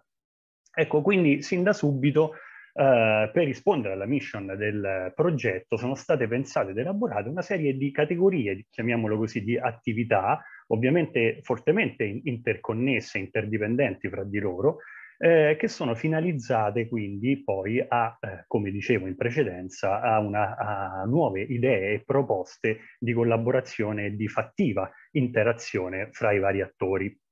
Queste attività vanno quindi dalla formazione, intesa in senso lato, offerta ai eh, partecipanti in base alle eh, specifiche necessità e richieste appunto delle varie eh, parti in campo, quindi che siano essi studenti, universitari, ma anche eh, imprese e istituzioni, così come professionisti per la cultura, e sono legati ovviamente alla eh, generale intenzione di eh, porre eh, loro in, ehm, eh, nelle possibilità di competere e riposizionarsi sul mercato, quindi di accernare le proprie eh, con, conoscenze e competenze sul, sul patrimonio culturale e sulle innovazioni tecnologiche, così come una serie di webinar dedicati appunto alla formazione alle, eh, sulle nuove tecnologie digitali, eh, sulle evoluzioni del mercato e le richieste del mercato stesso sul mondo del lavoro e dei corsi di approfondimento permanente, quindi maggiormente stru eh, strutturati nel monte ore, eh, i cosiddetti CAP. Eh, le attività appunto vanno anche alla coprogettazione, quindi un'attività eh, di consulenza sulle possibili linee di finanziamento e sullo sviluppo delle idee magari ancora embrionali anche di alcuni cittadini o di studenti che possono proporre eh, al, al, progetto. Così come eh, un po' il cuore, il nucleo, come vedremo, eh, dell'intero progetto, ovvero le community di progetto, le comunità di progetto, che non sono altro che dei gruppi di lavoro su idee progettuali proposte da uno o più partner eh, e che quindi consentono una collaborazione eh, articolata, organica eh, fra le parti che quindi meglio affronta le sfide di una progettazione e di una eh, quindi, ehm, sì, delle, eh, quindi della proposta di idee eh, organica e complessa su alcuni temi legati sempre alla valorizzazione del patrimonio culturale così come attività di orientamento, ovviamente anche qui rivolte a diversi enti o diversi individui, eh, sia studenti, quindi dottorandi, eh, eccetera, volti quindi a eh, guidare un po', a, a, sostenere lo sviluppo di idee imprenditoriali e quindi, come vedete anche nella slide, eh, anche alle start-up, quindi a iniziare eh, attività di impresa. Quindi in sintesi queste azioni, queste attività sono rivolte a diversi partner come le imprese, vedete tutta la serie di eh, attività prima eh, elencate, prima eh, spiegate, le istituzioni culturali, così come anche comuni ovviamente, studenti e laureandi.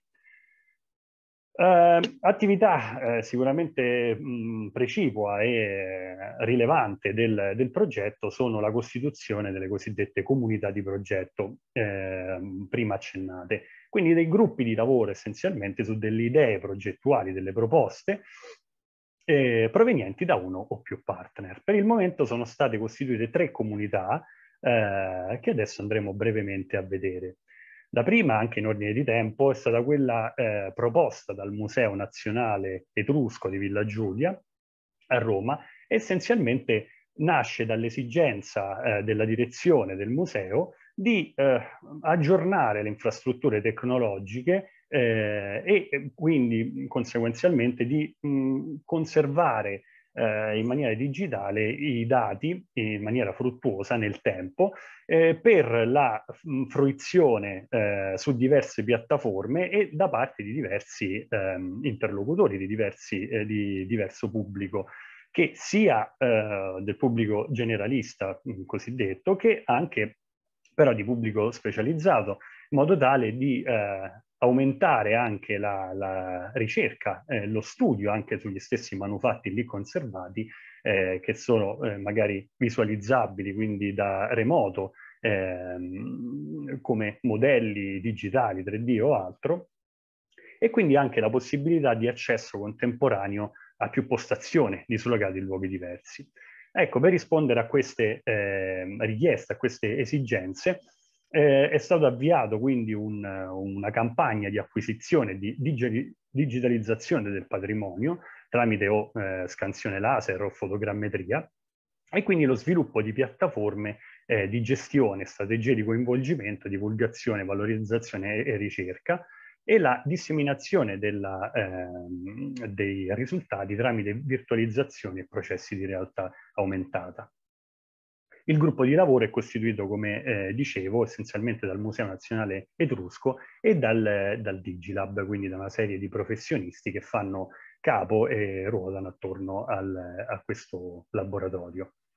La seconda comunità di progetto è eh, cosiddetta Reactor Celio, eh, proponenti quindi la sovrintendenza Capitolina e Cop Culture,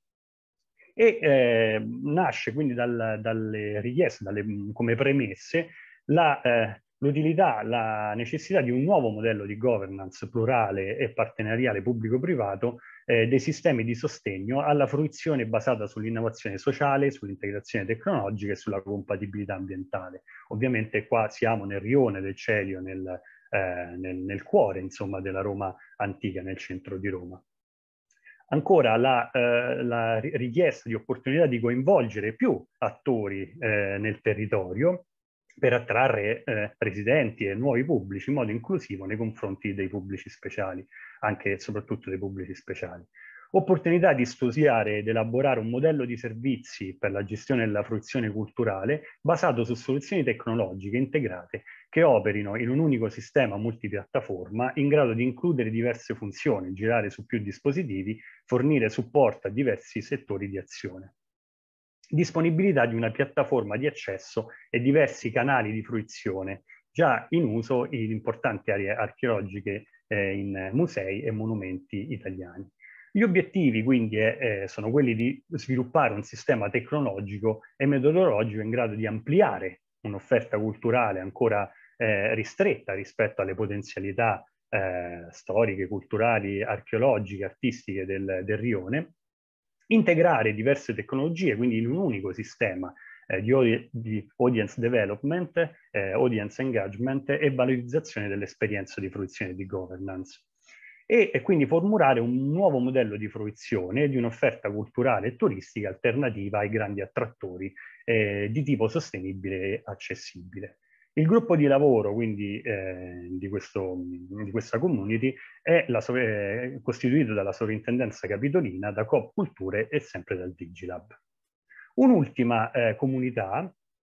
eh, dal titolo appunto Sistema Integrato Area Borghese, proponente sempre il Museo Nazionale Etrusco, eh, nasce dall'esigenza e dalla consapevolezza di eh, un patrimonio eh, posto tra l'area di Villa Borghese e Valle Giulia,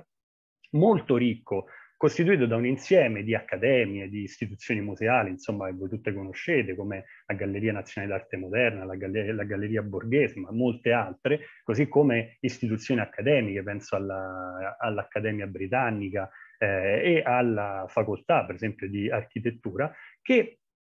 eh, devono eh, essere messe in rete eh, per ehm, valorizzare organicamente appunto gli stessi, eh, gli stessi luoghi della cultura. E, ehm, e, anche la consapevolezza di una comunicazione dell'aria piuttosto limitata, quindi eh, che causa un, uh, un, accesso, un flusso di fruitori minori delle aspettative e delle potenzialità eh, culturali di questi istituti coinvolti. Un'altra eh, premessa è quella della rete, eh, che la rete dei trasporti eh, non garantisce un flusso adeguato di visitatori a causa anche della mancanza di collegamenti trasversali tra i suddetti istituti e una scarsa, quindi, ehm, una scarsa eh, una scarsità informativa circa, circa il potenziale del distretto urbano. Quindi gli obiettivi sono quelli di creare eh, fra tutti questi enti un distretto culturale che possa quindi in maniera organica eh, offrire eh, una serie di itinerari, una serie di proposte culturali eh, e quindi di valorizzazione del, del, proprio patrimonio e quindi inoltre di un'infrastruttura tecnologica eh, per la comunicazione e la gestione integrata dei servizi culturali e turistici. Il gruppo di lavoro in conclusione anche qui in via di eh, ultimazione, è eh, formato dal Museo Nazionale Etrusco, dal Digilab, eh, dalla Sovrintendenza Capitalina e da Coop Culture. Eh, questa è la mail del Collab per qualsiasi informazione o richiesta e vi ringrazio molto.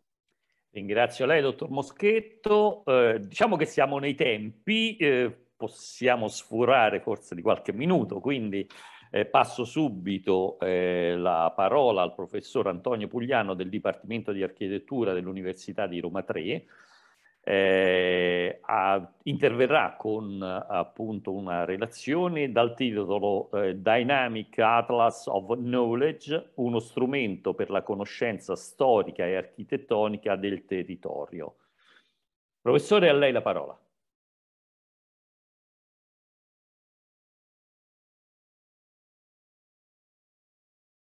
Vediamo un attimo. Ecco, non, non, non mi si attivava l'audio. Adesso la sentiamo benissimo. Buongiorno, perfetto, Buongiorno. vi ringrazio. Eh, condivido lo schermo. Vedete nulla? Sì, adesso lo vediamo. Ah, perfetto. Può procedere. Allora, vi ringrazio. Eh, saluto tutti gli amici convenuti, saluto gli organizzatori che ringrazio e con i quali ho una frequentazione pressoché quotidiana perché condividiamo alcune iniziative di ricerca delle quali avrò occasione di parlare anche ora.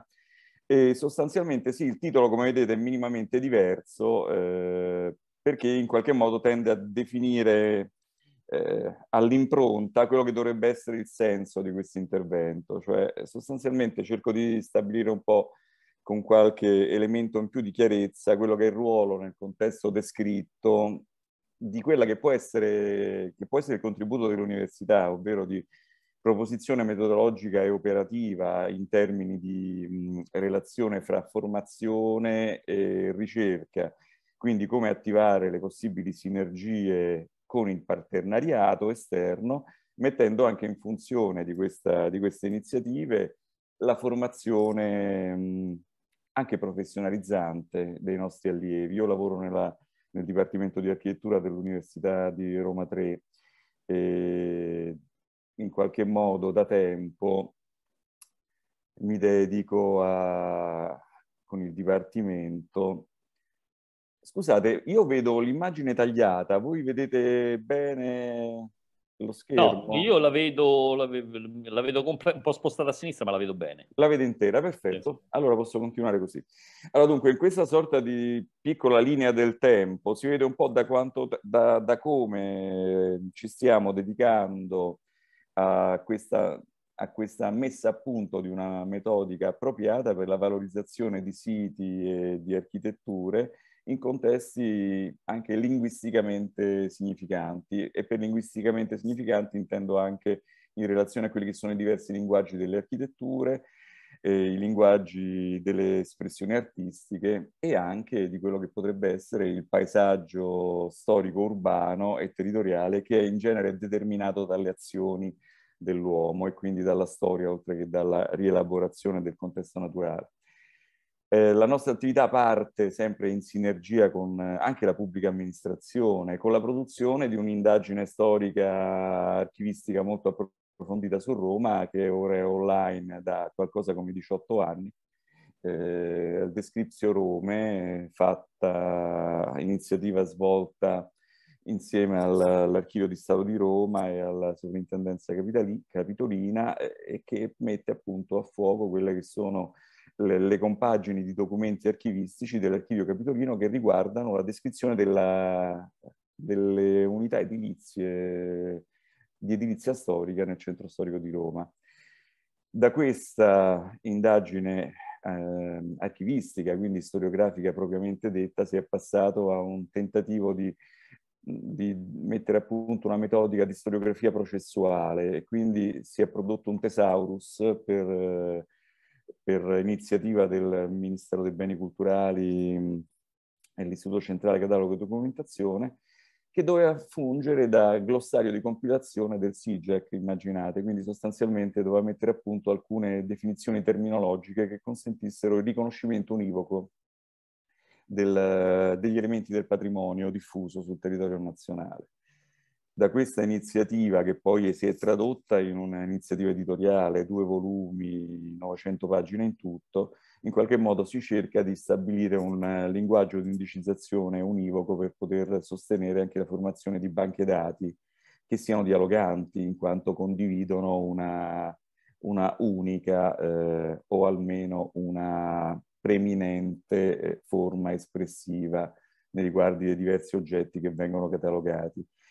E su quell'esperienza si è poi inserita un'evoluzione del Descriptio Rome, quindi un'indagine cartografica diffusissima, che eh, è approfondita, che si traduce in un Atlante dinamico su Roma, ovvero in una sorta di raccolta cartografica di fonti storiche messe in coerenza con la CTR della Regione Lazio e di di Roma in particolare, affinché possano essere confrontabili i dati provenienti dal Nolli, provenienti da, da altre fonti, eh, essere comparabili e riconosciuti come mm, pertinenti a un determinato contesto urbano a tutt'oggi documentabile dalla cartografia eh, standard normativa come può essere quella della CTR. Da questa, da questa, serie di approfondimenti cartografici messi a sistema eh, è nata la possibilità di produrre delle indagini tematiche che poi sono diventate eh, l'oggetto di alcuni finanziamenti regionali. Eh, sto parlando di, del progetto gruppi di ricerca finanziato dalla Regione Lazio che ci vede partner con il Digilab di Sapienza per poter eh, studiare un, il, um, la possibilità di mettere a sistema in un museo esteso della città anche le compagini delle, um, degli elementi conservati nel, nei musei romani per quanto attiene al collezionismo. Eh, si tratterebbe in questo caso di mettere a punto una piattaforma digitale in grado di essere dialogante eh, con eh, contesti tecnologici più evoluti dal punto di vista anche della prestazione, quindi con tutto quello di cui parlava anche precedentemente l'amico Palombini e quindi sostanzialmente qualcosa che debba essere messa a punto dal secondo criteri di interoperabilità e interscalabilità e quindi sostanzialmente questa, questa ricerca più tecnologica è quello che informerà il progetto Intact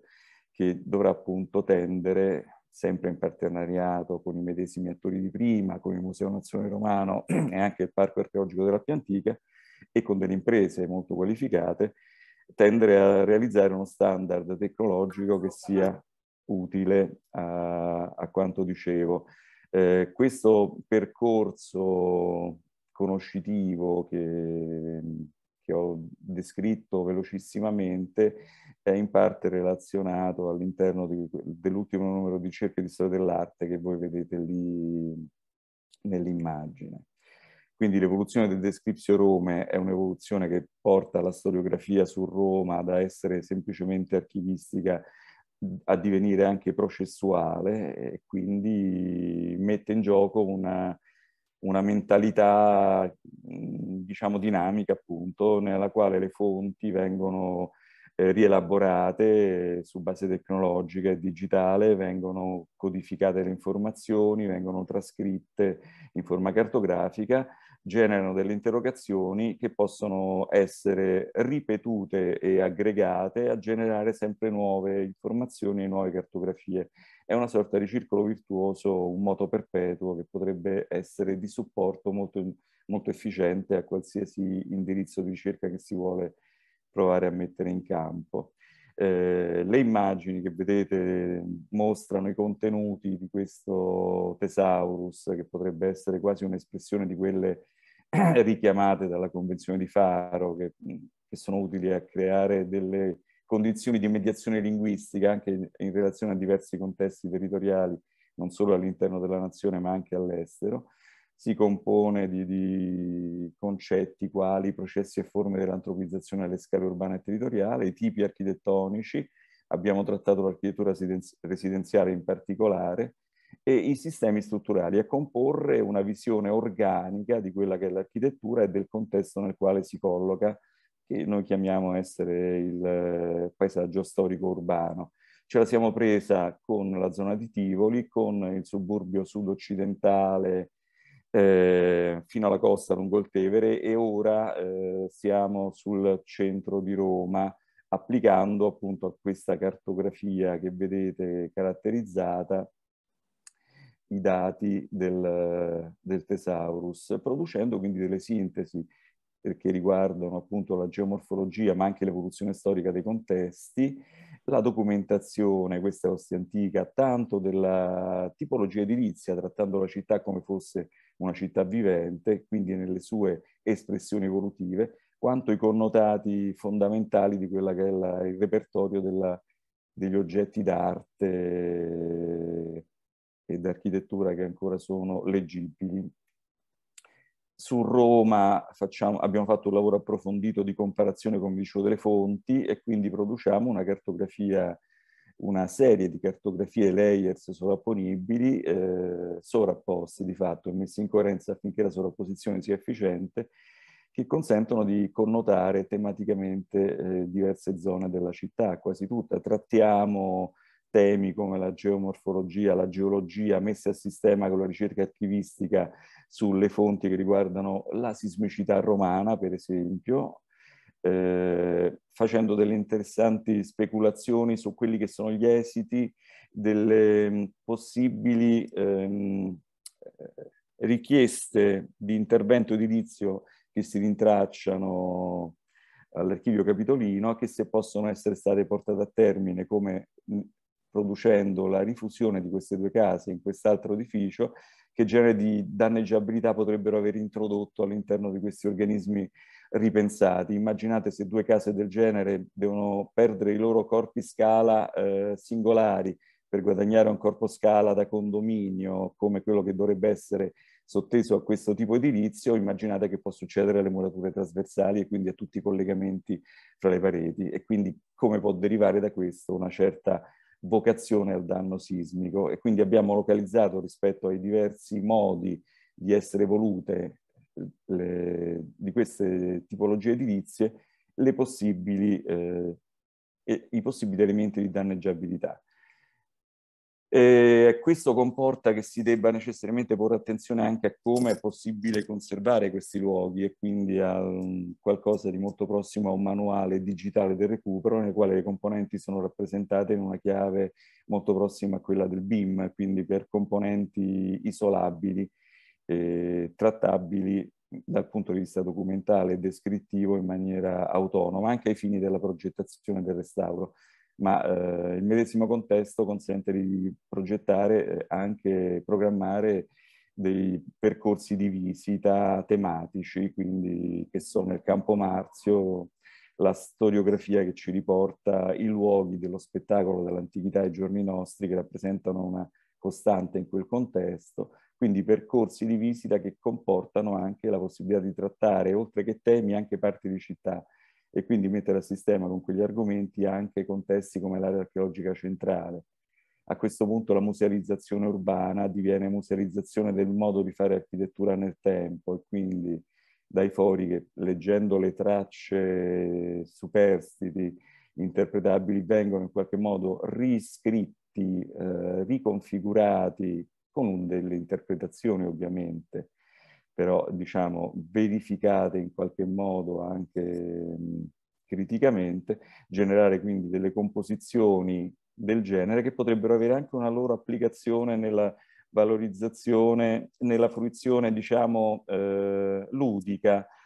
Questa potrebbe essere tranquillamente una scatola di montaggio, tanto virtuale quanto fisica, se fatta con stampanti 3D, in quanto questi disegni sono 3D, restituzioni congetturali, dai lacerti e dalle tracce, oltre che dalle fonti, e che possono essere, sono redatte per elementi finiti, componibili, che vanno parafrasando la composizione architettonica di questi oggetti. Valga l'esempio del cantiere ricomposto dei documenti interpretati della chiesa di Santi Luca e Martina. Eh, questi oggetti vengono studiati quindi nel loro sedime storiografico e come si compongono nel tempo e spesso sono anche mh, eh, musei, come nel caso delle terme di Diocleziano. E qui si innesta una dei, di quelle occasioni di ricerca che dicevamo, condivise con Digilab, con il CNR e con altri. Quindi eh, stiamo cercando di mettere a sistema nel Museo della Città anche le presenze museali artistiche e quindi, che so, graficizzando i luoghi dell'esposizione, del ritrovamento delle, degli oggetti delle, del collezionismo rinascimentale barocco, produciamo una cartografia che mette e localizza, eh, quel, mette in, appunto e localizza quelli che sono gli spostamenti, appunto, e la, e i diversi luoghi di ospitalità delle opere d'arte, trascrivendo ovviamente le fonti. Eh, le fonti, qui parliamo della Villa Ludovisi, eh, tutto viene fatto sulla, producendo un database relazionale abbastanza eh, complesso, realizzato sul sedime della catalogazione dell'Istituto Centrale Catalogo e Documentazione per quanto riguarda le opere d'arte e l'architettura, e, mh, associando alle schede delle regole di compilazione che sono in parte quelle del CCD ma in parte sono anche adattate alla bisogna, quindi implementano il repertorio CCD, producendo delle maschere Access già relazionate, quindi pronte a migrare in, essere in ambiente SQL per poter finire sul web e associarsi quindi a restituzioni congetturali di architetture che sono anche appunto congetturali, come nel caso della Villa Ludovisi, il Palazzo Grande che vedete da questa parte, eh, oppure rilievi fotogrammetrici restituiti in 3D per poter essere poi consegnati alla realtà virtuale, l'altana di Palazzo Altemps, per poter appunto contribuire a quella che può essere una visita del luogo online che non vada a discapito però della visita on site, quindi dove l'online in qualche modo contribuisce alla comprensione dei, degli oggetti durante la visita sul posto. Grazie dell'attenzione, temo di aver sforato, però eh, scusatemi. Grazie. Grazie professore. No, va bene, non, non si preoccupi. Comunque è stato eh, interessante vedere la, la, complessità del lavoro che state producendo. Ora, prima di passare agli ultimi due interventi, intanto permettetemi di fare un complimenti, miei personali complimenti da, da moderatore a tutti i relatori perché non è diciamo, un complimento d'occasione, ma eh, è legato a un dato. Eh, l'attenzione dei partecipanti, la presenza dei partecipanti è stata più o meno costante durante tutto quanto il workshop dall'inizio fino ad ora, quindi eh, so benissimo per esperienza che in questi eventi online non è così facile intrattenere e trattenere i, i presenti, quindi complimenti. Ora, gli ultimi due interventi e poi ci sarà eh, una brevissima, veramente brevissima e sintetica chiusura da parte mia. E, mh, chiedo però, prima di lasciare la parola agli ultimi due relatori, eh, alla, al coordinamento, all'organizzazione, se è valido quella email eh, che ci siamo scambiati ieri, eh, perché appunto, visto che non ci sarà il tempo di rispondere a delle domande, daremo un'email di riferimento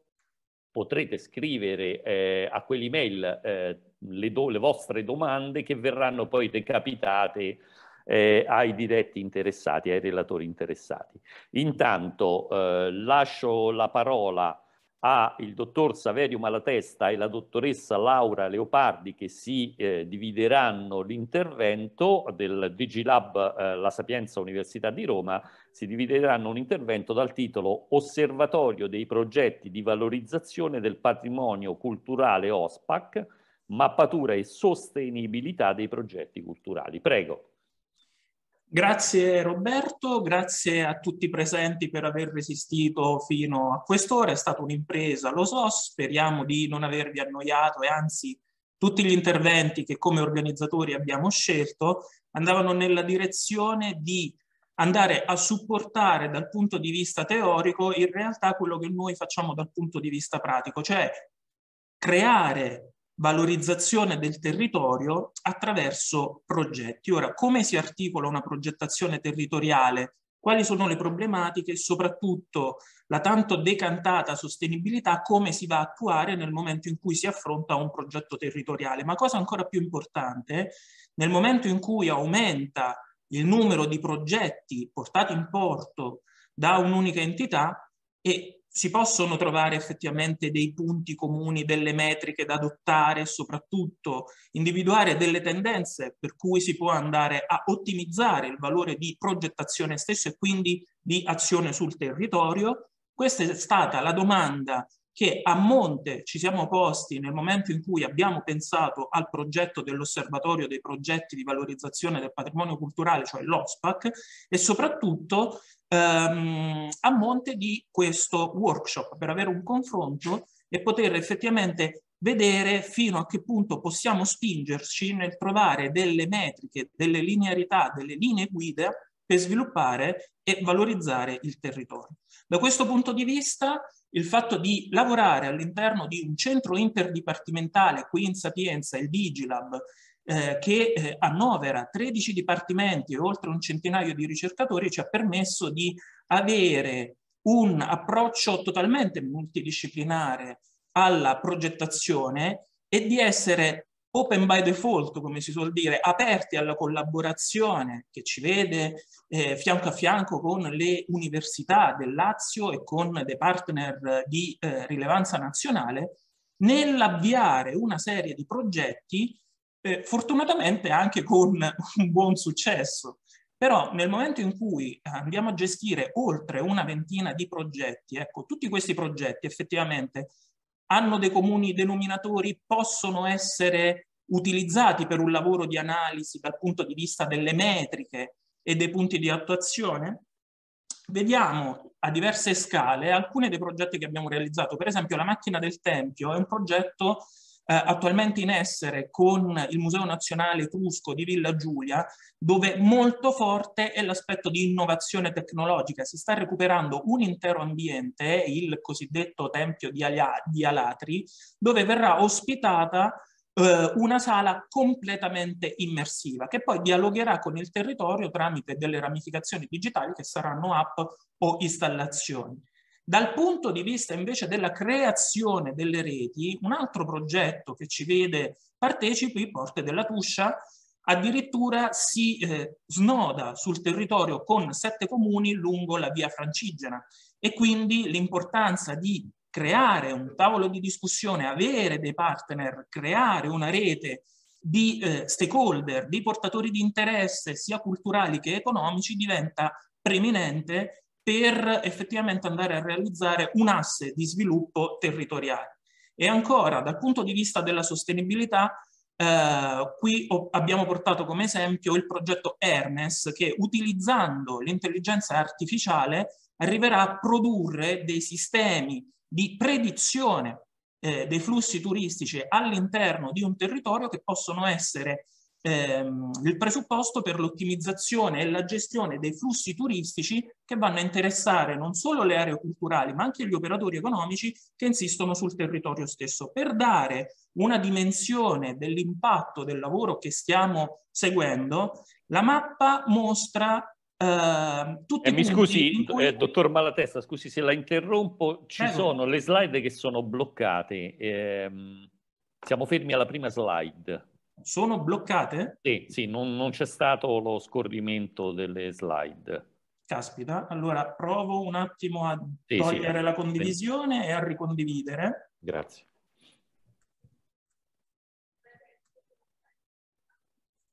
Allora.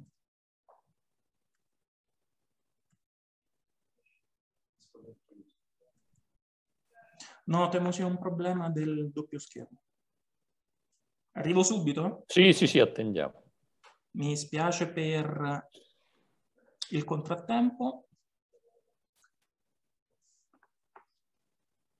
Ah, ok, in questa modalità probabilmente vediamo a sinistra la colonna di tutte le slide, quindi credo che si possano... Provi un attimo a scorrere la prima, così lascio subito. Allora,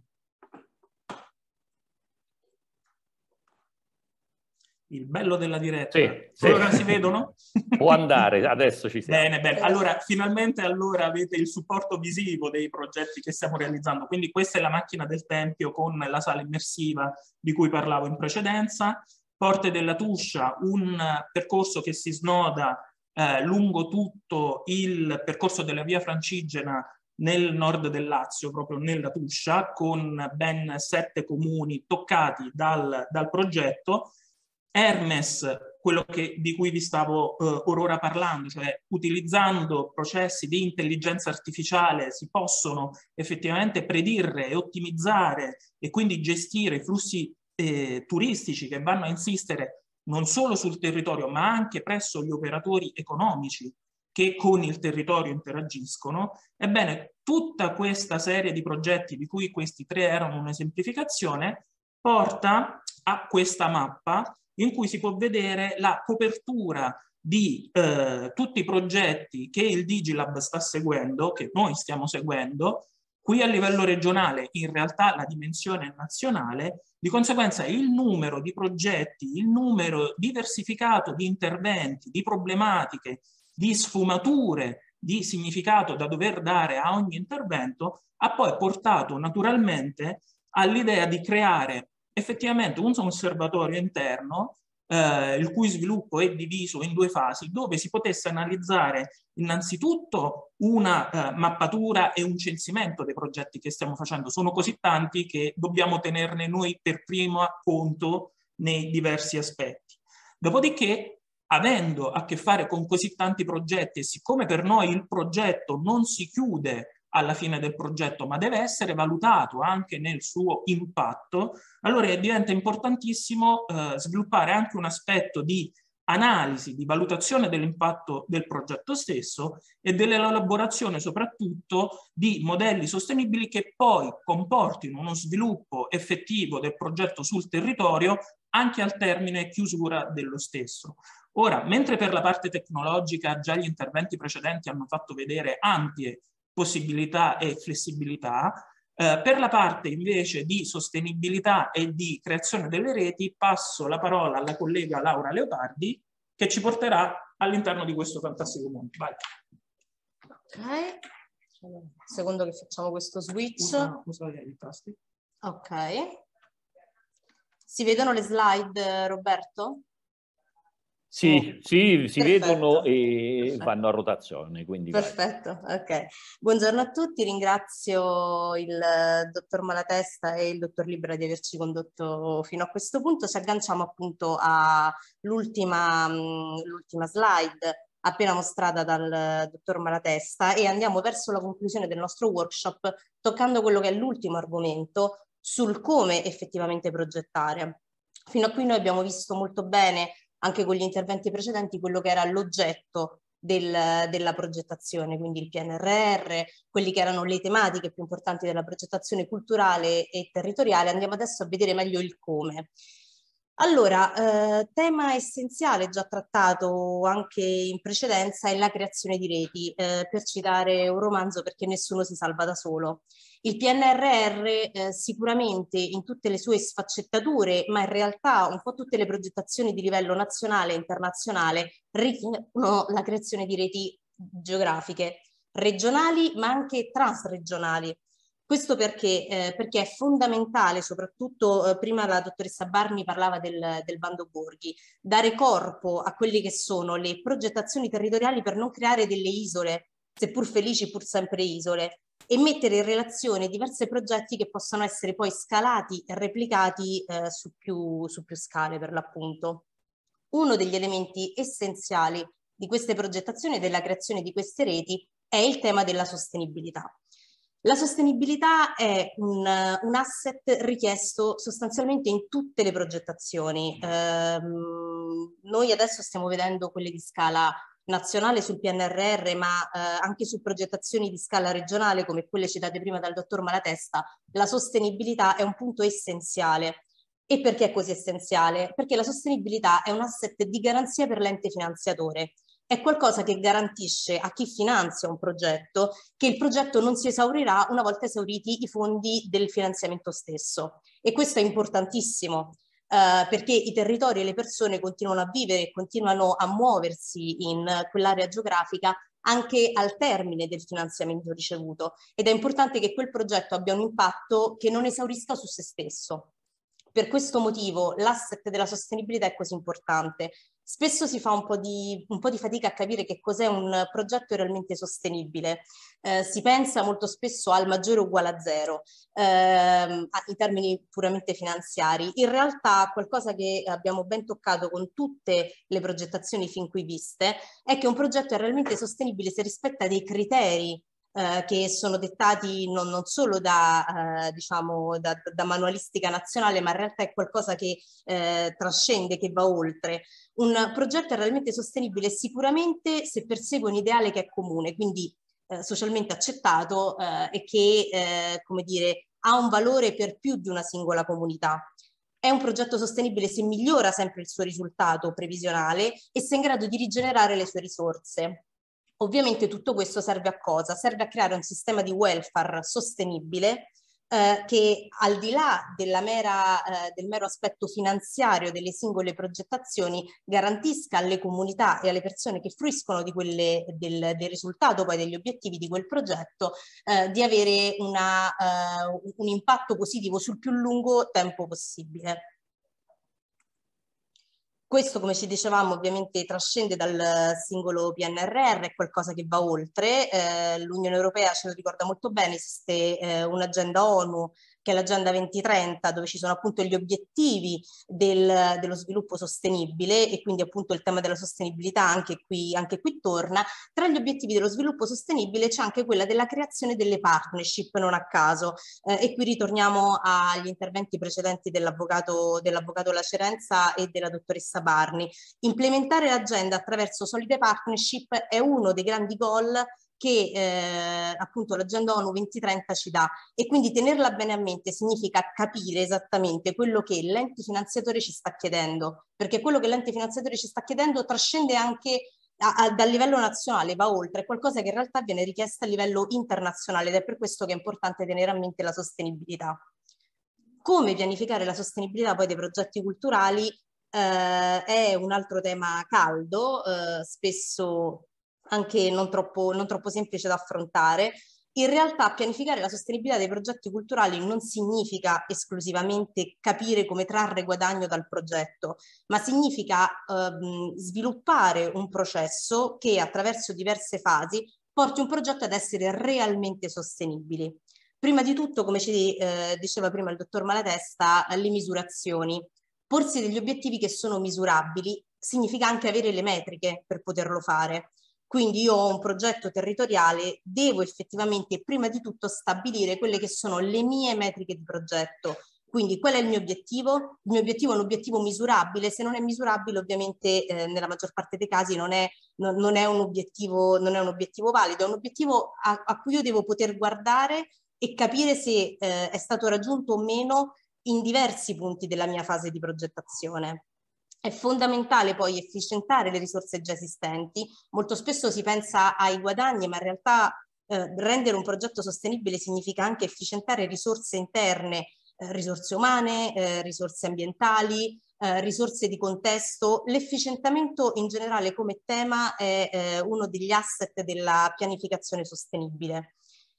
Vanno ovviamente individuate fonti di proventi, anche grazie alle partnership dei privati. Prima eh, giustamente l'avvocato Lacerenza ci diceva che i privati all'interno di una strategia progettuale intervengono anche nel contenuto del progetto, eh, non sono semplicemente dei, eh, dei, mandanti di una parte di progetto, ma intervengono. Ecco, permettere a un privato di intervenire all'interno del, del contenuto del progetto significa anche individuare delle fonti di provento sostenibili.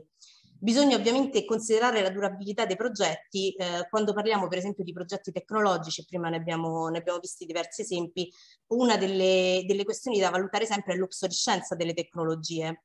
che va valutata, va pianificata e va compreso eh, come affrontarla anche in determinati punti dello sviluppo progettuale. Le valutazioni di impatto che sono uno dei grandissimi temi poi del, eh, del PNRR, in particolare il bando Borghi che prima la dottoressa Barni citava, prevede una valutazione di impatto prima eh, della, de, della, chiusura del bando stesso, addirittura in fase di sviluppo dell'idea progettuale. Questo ci dà l'idea di quanto sviluppare una valutazione di impatto eh, sia importante già dall'idea embrionale della progettazione stessa. E infine ovviamente sviluppare delle proiezioni e delle analisi predittive eh, che ci permettano effettivamente di capire sul medio e sul lungo periodo quanto il nostro progetto sia realmente sostenibile. Ecco, questi asset sono quelli che effettivamente permettono a un progetto di essere realmente sostenibile, pianificando la sua sostenibilità finanziaria, ma anche la sua sostenibilità economica.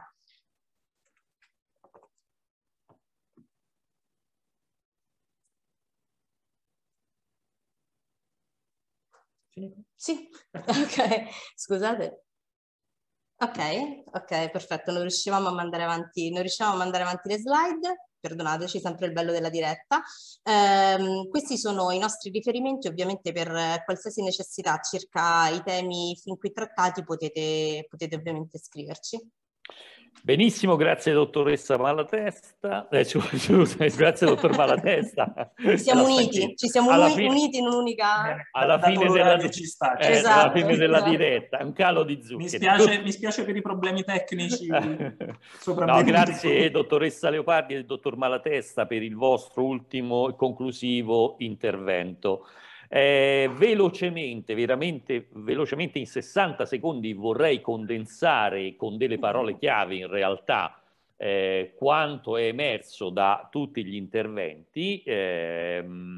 prima però ricordo, eh, l'ho anche digitata sulla chat, ma in ogni caso ricordo l'email alla quale potete eh, scrivere per porre le domande ai nostri relatori, specificando ovviamente anche a quale relatore eh, vi rivolgete che è digilab at o chiocciola uniroma 1, 1 ovviamente a numero, punto it.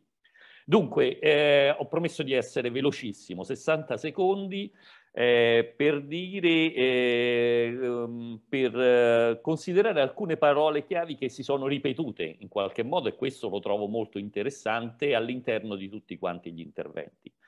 e cioè sicuramente eh, le parole che più abbiamo sentito eh, affermare durante questi interventi sono stati la eh, necessità, l'intenzione, eh,